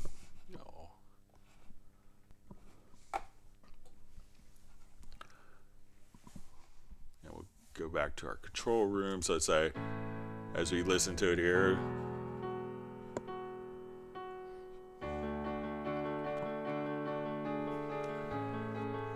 So if we, there's a number of ways of doing it. So if we just go to our MIDI modifiers, we can say we want to randomize velocity. And we can say like up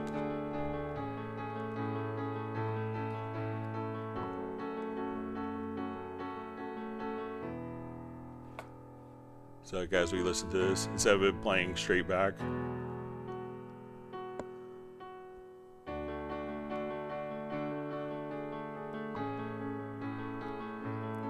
Just kind of a total random thing. And then if I wanted to apply that, I think I could just go to my freeze MIDI modifiers and we could see the result of the velocity changes on the events. So without that turned on, so all the same velocity. We'll kind of even go a little more extreme under velocity.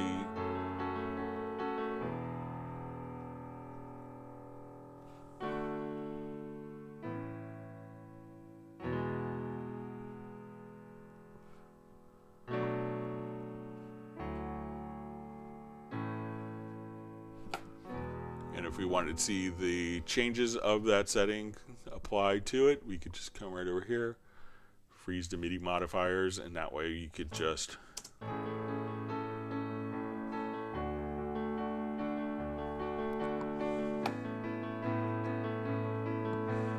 where it's all kind of now boring. Now you could just turn this on and on playback, you could hear the difference. And you could also randomize the position. So you could say, okay, let's just take the position and randomize that a little bit as well. So now the notes cannot be like perfectly on the beat or on a grid.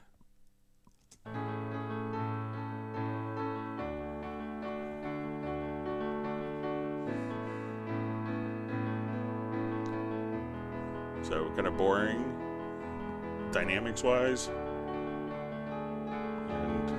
It's probably an extreme on position, but you could, you know, take pitch, velocity, length of notes, and be able to uh, randomize those really easily. So, you know, check out the MIDI modifiers.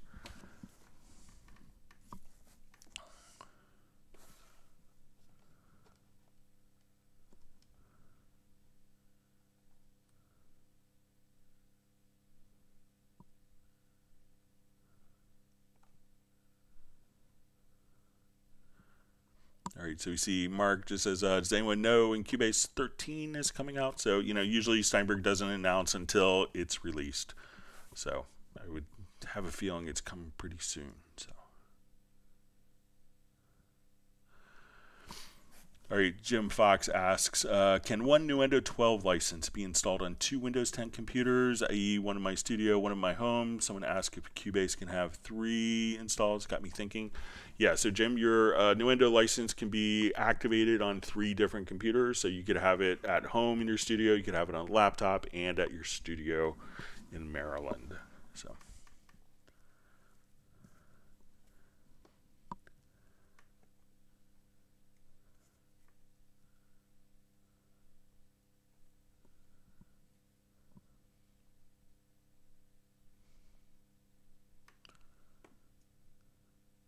All right, so we see uh, from the Heartbreak Time Machine, uh, just I need to be able to look closely at the sub bass and which channels need filters, etc. So yeah, in the surround panner, you know, you could send stuff directly to the LFE channel via send or within the surround panner as well.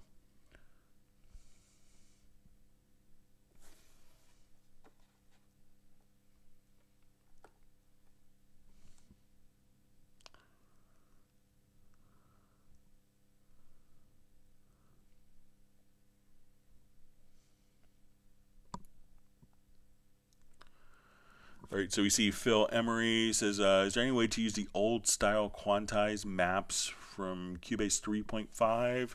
Uh, so if there are the groove quantized, um, I'm not sure. You know, I think we did some of the technology with, um, you know, a company called WC Music Research, and they're not no longer in business. But you know, you could.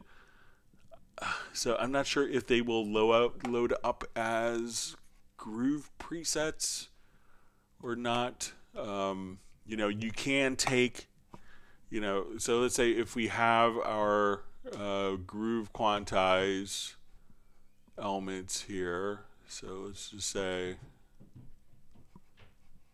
just adjust my.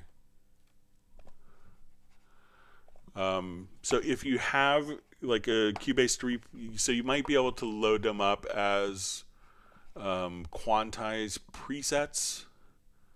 I haven't tried this in a long time, so if you, uh, but if you have any of the files from 3.5, you, you know, if it's like the groove templates, uh, what you can do is quantize the event, quantize an event in 3.5, and then just take that particular event here uh, and drag it into the quantize, and that way you could then save it as a, a, new quantize preset. So I know that would work. So if you still have those and still have access just to put it on some different files, you could drag that drag that quantized file to the quantized panel and have it loaded up for you and preserved and make it future proof.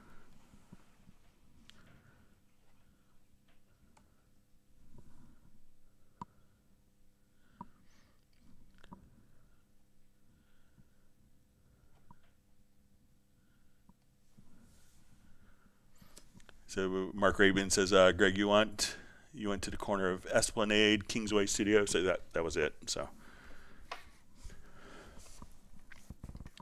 yeah, Michael Paz took me there. So I don't know if you don't, you may know him, Mark. And his friend Rick, who had a studio in Metairie, he was a big Cubase guy. That's where I used to do some clinics there, and I remember Art Neville would come out and stuff. So it was always fun hanging out with Art.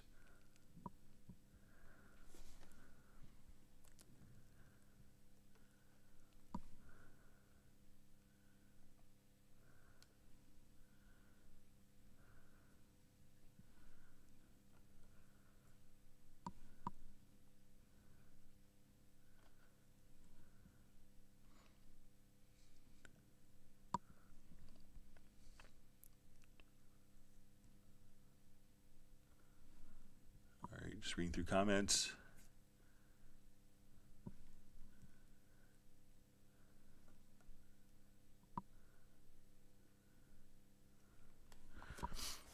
All right, Jazzy Lamel asks, "Hey Greg, my client asks me if the loops that are in Cubase are royalty free or will they get flagged if they're in YouTube or some other platform?" So uh, they are royalty free to use from Cubase. Sometimes people will write a song and get it copywritten, and then it gets flagged in the kind of the uh, AI algorithms. And then you know often it's just you know sending a letter you know this content is fair use it's part of the DAW and then it's not an issue. So all the loops and all the content that we offer to sale are free uh, royalty free so there's no worries about that. But um, sometimes people use it in a song and then it will get dinged because someone else used a loop and it got released and was kind of procured into their algorithm to check for, but it's pretty easy to take care of. So, but I think there was uh, Roland had a like a a bass and drums card that uh, I think this is a story I heard that Alanis Morissette used as a loop from that, and that got dinged for copyright, and had to stop selling the unit. No, that was the rumor because he got a copyright violation on a drum loop that was used in it or something like that.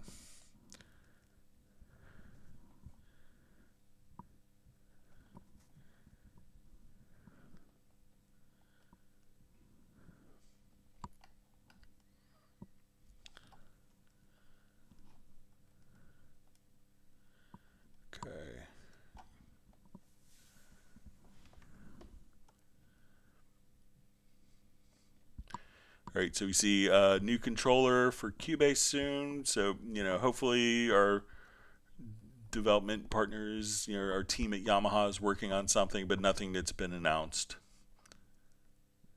I wish we had one. There's a lot of people want CC121, a new version of that. But with the, you know, figure with the uh, with the MIDI remote functions in Cubase, you could use you know, so many controllers, you know, much easier. All right, Mark Rabin's dog Stella says, hit the like.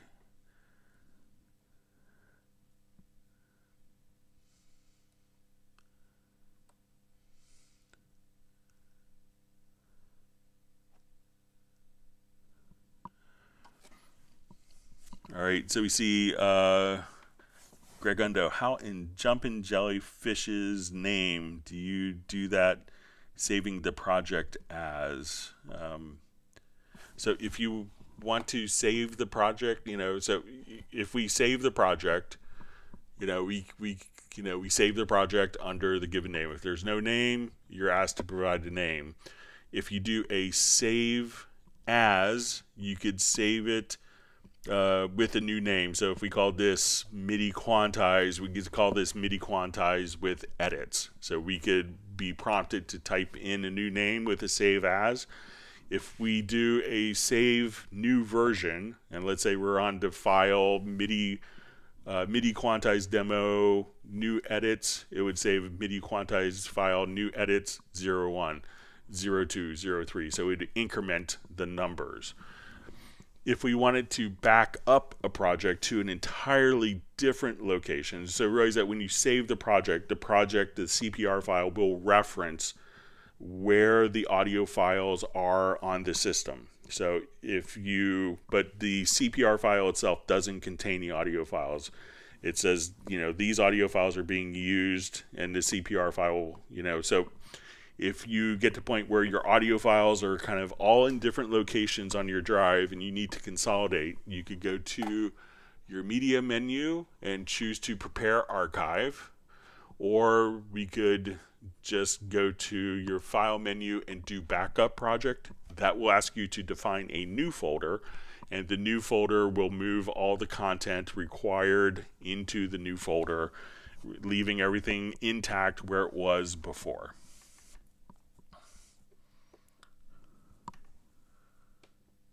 So let me know if that is helpful. All right, so wonderful to see Avery from Tel Aviv. We hope you're safe. All right, we see Steinberg MIDI says freeze MIDI modifiers is a feature I most likely use every time I make a track.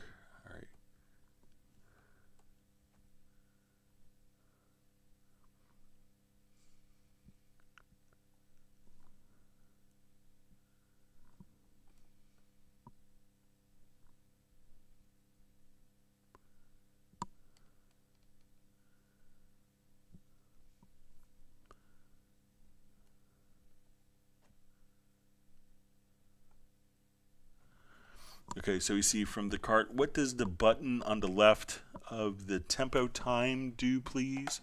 Okay, so this button here, I think maybe it's on the project window. Um,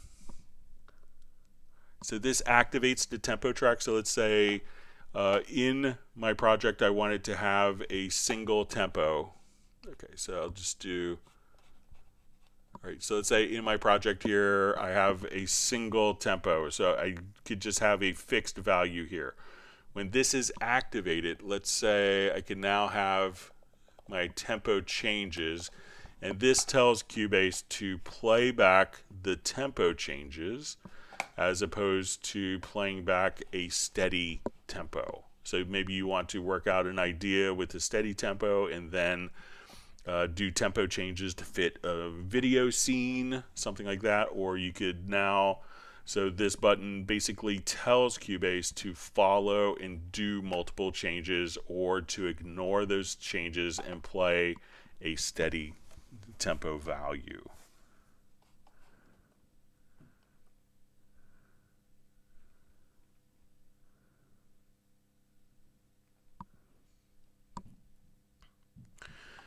All right, so we see, uh, can I do a shortcut to SpectraLayers to uh, SpectraLayers process to audio?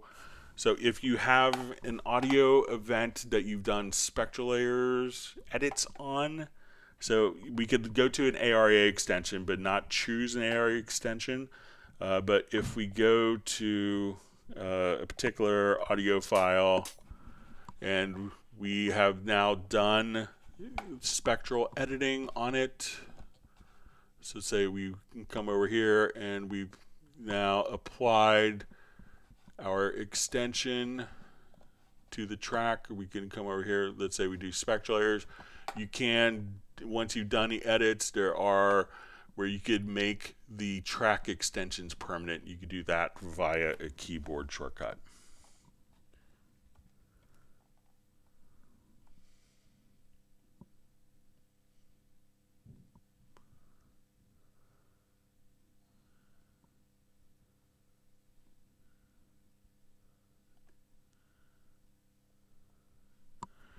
All right, so we see uh, question, Greg Ondo, could you change the different skin colors? Show me, please.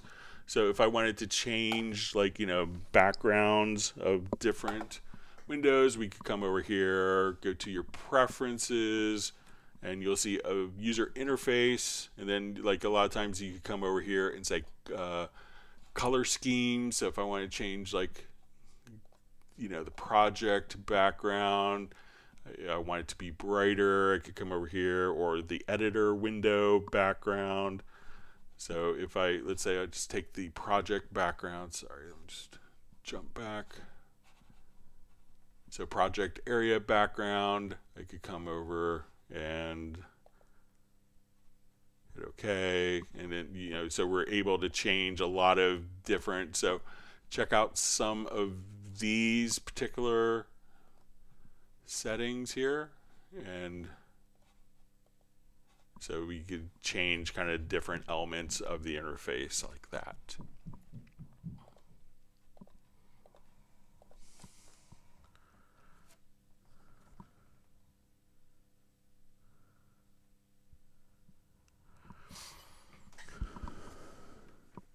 Okay, so we see, uh, why don't I see the grid icon and snap icon in my Cubase menu on top? So make sure that you, if you go to the setup window, make sure that they are visible. So if you don't see it, make sure that you have like the snap turned on. And if it is checked, it's visible, you might have to come over here to the setup depending on your screen resolution and we could say, okay, I want to take my snap and we could move it up. And as we move it up in this list, it moves it over to the right.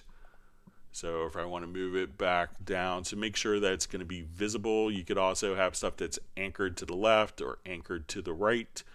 But sometimes people could load up a lot of different functions there and their screen resolution doesn't allow them to see all of it. So again, make sure that it is active and checked. And then if it's checked, you may have to just kind of change the position of the order.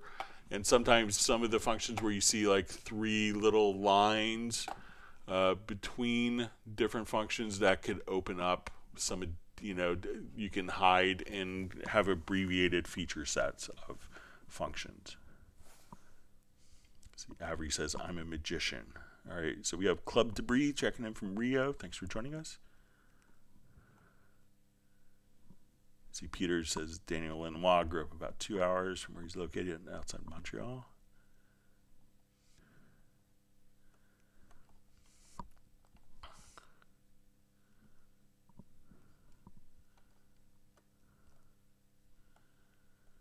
Okay, so we see from Club Debris the time management question. Is there a way to keep how much how much time I spend in a particular project, Cubase 12 Pro, Windows 10? Um, there is a VST plugin. I think it might be HOFA, H O F A, that has a plugin that as soon as you start the program, it will, as soon as you're in a project, will keep time of how much you've used, which is nice for billing. But there isn't anything that's included with Cubase to indicate that.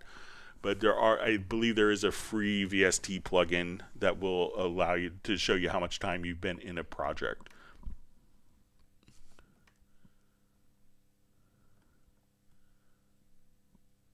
Yeah, so you see Michael Pierce just mentioned the same plugin.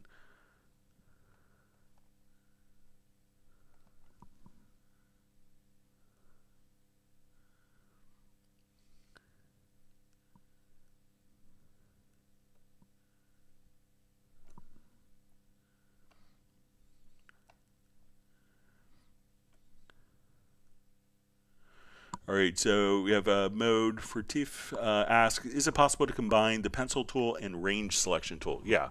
Um, so let's say if we have this, I'll make this just a little larger.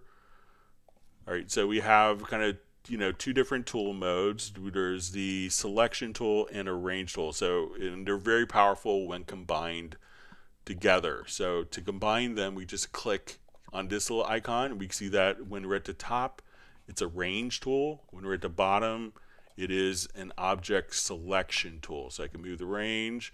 I could undo that. I could come over here when I go to the top for different uh, my uh, fade envelopes. We could adjust there when I kind of double click.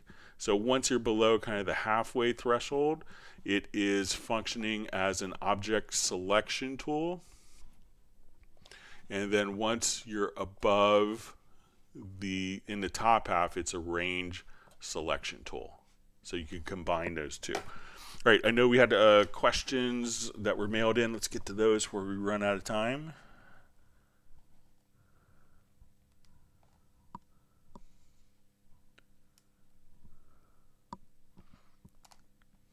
Thanks for all the wonderful questions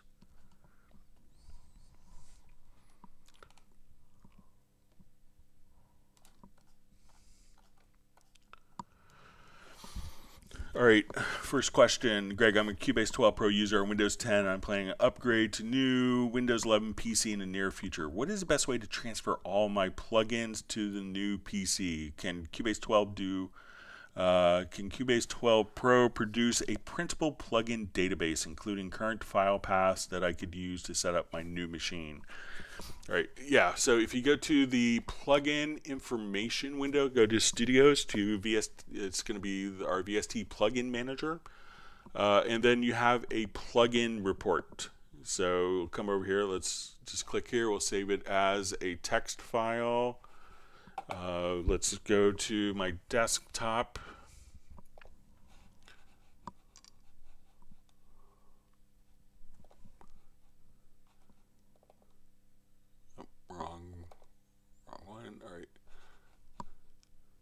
So here's our plugin report. So we could see, uh, you know, our Cubase Pro, which version we're using, uh, plugins that are in the block list, all of the plugins with their path, the version numbers, their path, all that information included right here. So that way you could go through and find them and just kind of search. So once again, inside of Cubase, go to your um, VST plugin manager, and then you'll see the plugin report directly there at the bottom.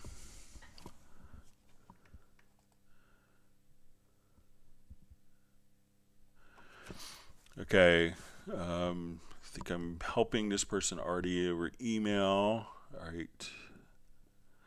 All right, so we have a question how to adjust clip gain automation from a key command. All right, so if we have a key command, let's say in this event, and we want to adjust our clip gain automation, all we have to do is we can see that we have like, and that's this function. So this is going to be completely independent of automation. So if we come here, we can see our automation, but if we wanted to adjust this, this is going to be pre-fader before automation. So if we wanted to trigger this from a key command, we'll go to quick MIDI remote. It's I think it's called decrement or increment volume. So let me switch my mapping page. Um, I will come over here and let's just search for, I think it's decrement uh, event volume. Okay, so I'm going to assign this here to this event. And now I want to conversely increment event volume. I'm going to assign that to the knob next to this. And now as I come over here, I could just use my MIDI remote to increment and decrement the, and that does it in intervals of 1 dB. So we could just come right over here and increment and decrement by 1 dB with a controller or keyboard shortcut to just make it very easy. And if we want to, you know, come here, let's split, uh, sorry, wrong key command. Now I could just take, now that I've split that event, I could just increment and decrement just that selected range as well.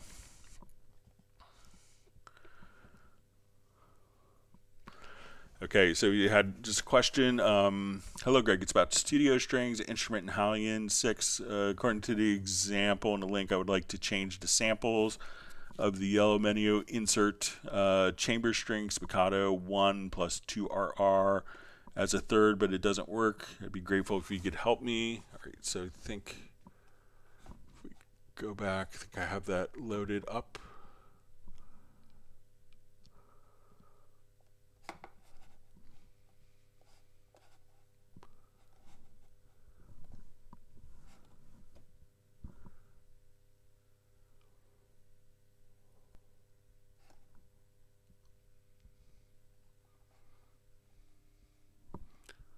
Okay, so we'll come over here. Let's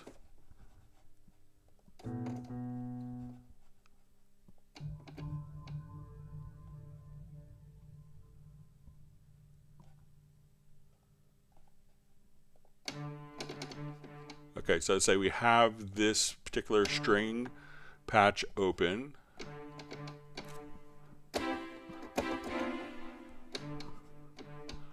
All right, so let's come over here and edit, and we're going to click on layer one, layer two, layer three. So if we wanted to, so this is the one that we want to change.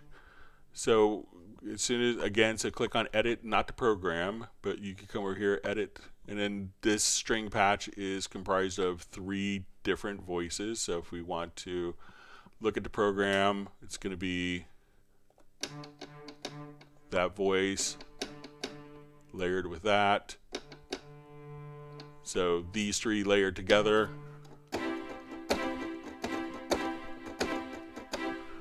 We'll make that sound if we wanted to replace one of the instruments. So let's say we go to um, this third layer. At this point, what we could do is say, okay, I want this to be chamber strings pizzicato instead. So now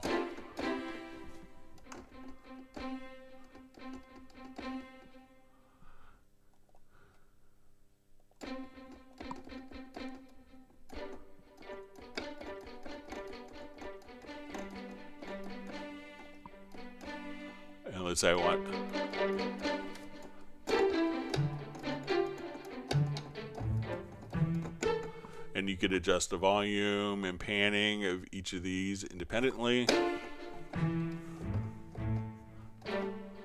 So again, just kind of click here on the different layers and then you could choose all of your different string voices for layering right there.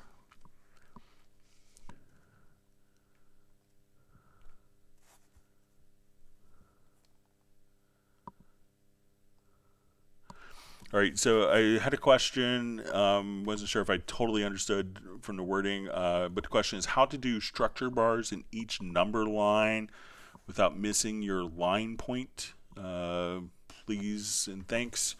Uh, kind of ask for a clarification. I didn't get it before, but it, I think it might be where you want to see each measure indicated here. So, you know, and this could be based on the level of zoom. So right now we see two measures.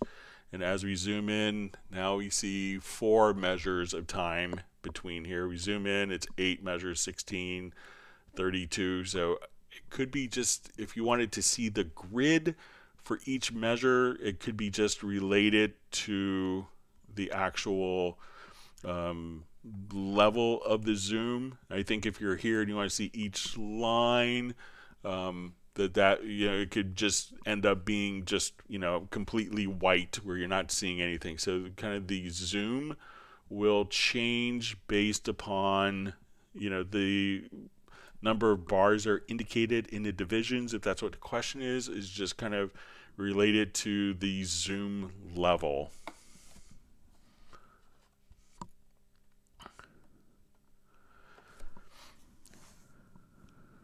All right. Uh, so I had a question. I'm transcribing a Chopin piece, Opus 48, number two. The piece calls for tuplets. Three, it also calls for music to be inputted in the form of tuplets of five and six. Um, how do you input tuplets of five and six or greater into the score editor in Cubase Pro 11? Okay, so triplets, you know, you know, of three, you know, that's pretty straightforward to do. So let's open up our score editor here. Um, so I'm just going to input some different notes. All right. So let's say if I'm entering it in from the score editor, uh, what we could do is come over and say, um, I'm just going to enable step input. So let's say I want to do quintuplets. So I have my step input turned on. I'm going to uh, let me just set my quantized value here differently. Bear with me just for a second.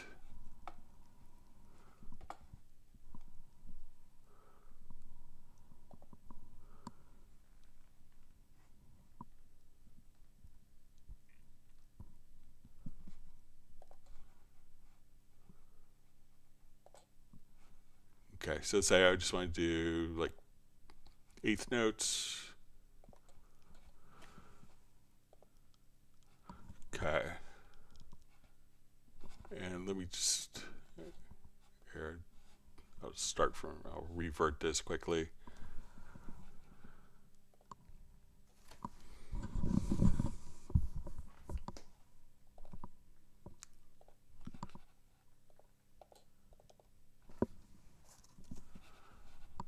Okay, so we're 4-4 time, and I want to put in eighth notes. So I'm as I come over here, I'm just going to put in five notes. Okay, so what I want to do now is to select these five notes, and we see these are kind of like, okay, I have these inputted as eighth notes. We go to our scores menu, and we'll see build n tuplets. and we can say I want this to be uh, five notes in one beat. So we'll now come over here, click on build, and we could have our five notes and let me not select part of the rest. So I'll just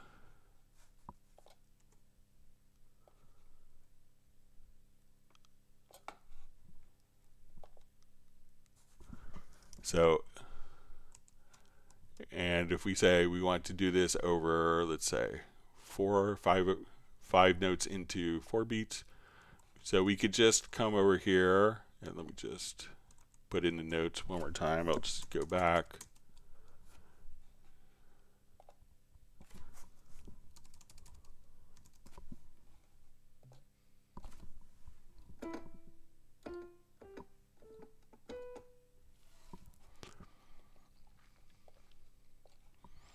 Okay, so again, select those, but I don't select the rest. Come over here to build ntuplet.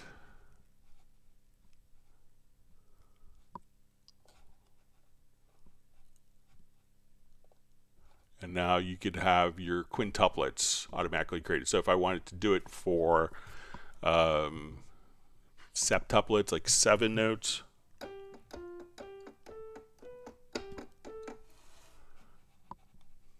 Again, I could select the notes, don't select the rest, but select the notes, go to scores to build n-tuplet, and we want to make seven notes over two beats, and then you have your septuplet created just like that. All right, another question. Um, I know how to import Cubasis 3 files into Cubase Pro 11, but how do you export Cubase Pro files into Cubasis 3 software. So Cubasis 3 is going to be a subset of the features of Cubase Pro 11, so it's not going to include every single plugin. It's not going to include, you know, like the VariAudio, some of the, you know, so there's a lot of stuff in Cubase Pro 11 that's not in Cubasis. Um, so those functions you know, will allow you to go from the smaller subset of features into the bigger Cubase. Uh, but the, all the features in Cubase won't necessarily translate down to the smaller version of Cubasis. So that's why you don't see the export Cubasis, you know, export Cubase to Cubasis, but from Cubasis to Cubase. All right, let's go back to our live questions. Thanks for sending all the questions in advance. And again, you can send questions to clubcubase at steinberg.de.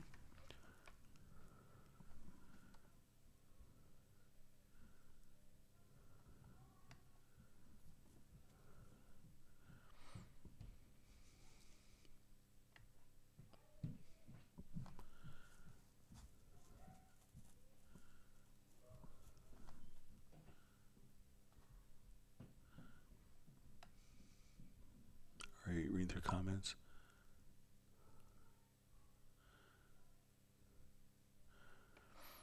All right, so we see um, from Ernesto Rodriguez, uh, how can I move the cursor line with the keyboard? So I assume it's maybe uh, the MIDI keyboard. So try um, holding, you see the plus and minus keys on the keyboard themselves. You can just move the cursor. And this is on the numeric keypad, so minus, plus, and then if you wanted to nudge, so let's say we have our snap value here set to bar. So if I'm at measure 11, I can hit control or command and the plus sign, and then we could navigate by bars, forwards. So control command and the plus sign and the numeric keypad, like where the numbers are, and and command or control uh, with the minus key, and then you could navigate the cursor like so. Or if you want to fast forward, rewind, if you hold down shift, you could increase the wind speed. So this is normal, rewind, fast forward with the plus and minus key.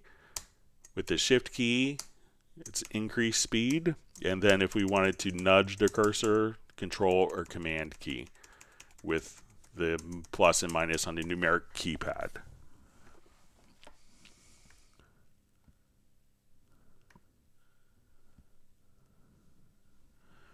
All right.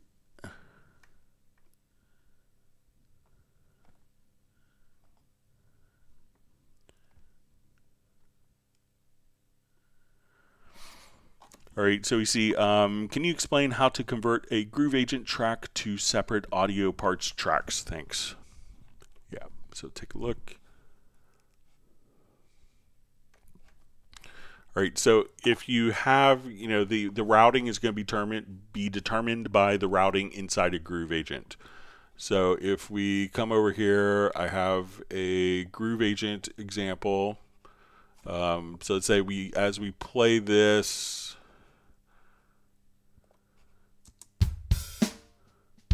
So currently everything is going out of one output. I open the instrument and let's say I go to the mixer.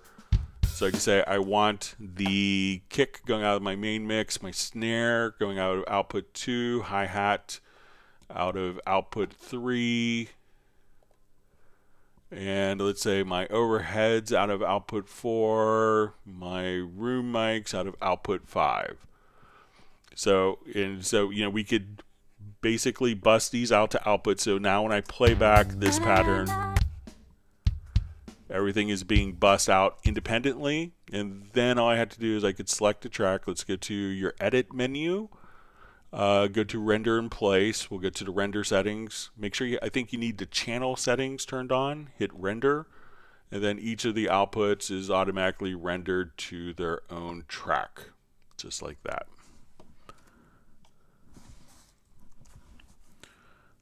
All right.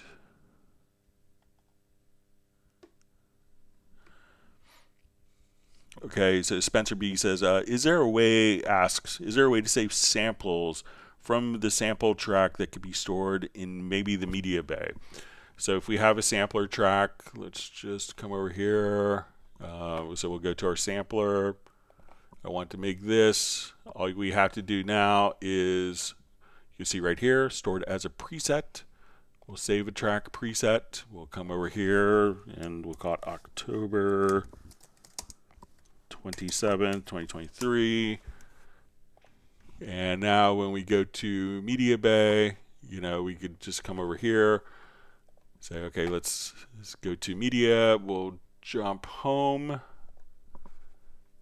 And we could go to User Presets track presets sampler and we'll see uh, October 27th and we could just drop that in and play the sample just like that. All right, so with that, we're out of time. I want to thank everyone for spending part of your morning, evening, afternoon learning more about Steinberg products. Um, again, next Tuesday will be our Zoom social meetup, so we'll have a two hour live stream, and then we'll have a special guest, Tim Hinkley. So um, that's going to be, uh, you know, he's just a wonderful fountain of knowledge and great stories and insights in production with his just legendary career of almost, you know, 55, 60 years. He's been doing, uh, working, I think it's probably 60 years. I think he started in 63. Uh, so don't miss that. We'll be starting that at 3 p.m., so two hours into the live stream. I want everyone to stay safe and healthy and we will see everyone back on Tuesday. And it is Halloween for the next live stream. If you want to wear a costume for the Zoom meetup, that's totally fine with me. But everyone, please stay safe and healthy, and we'll see you back on Tuesday. Goodbye.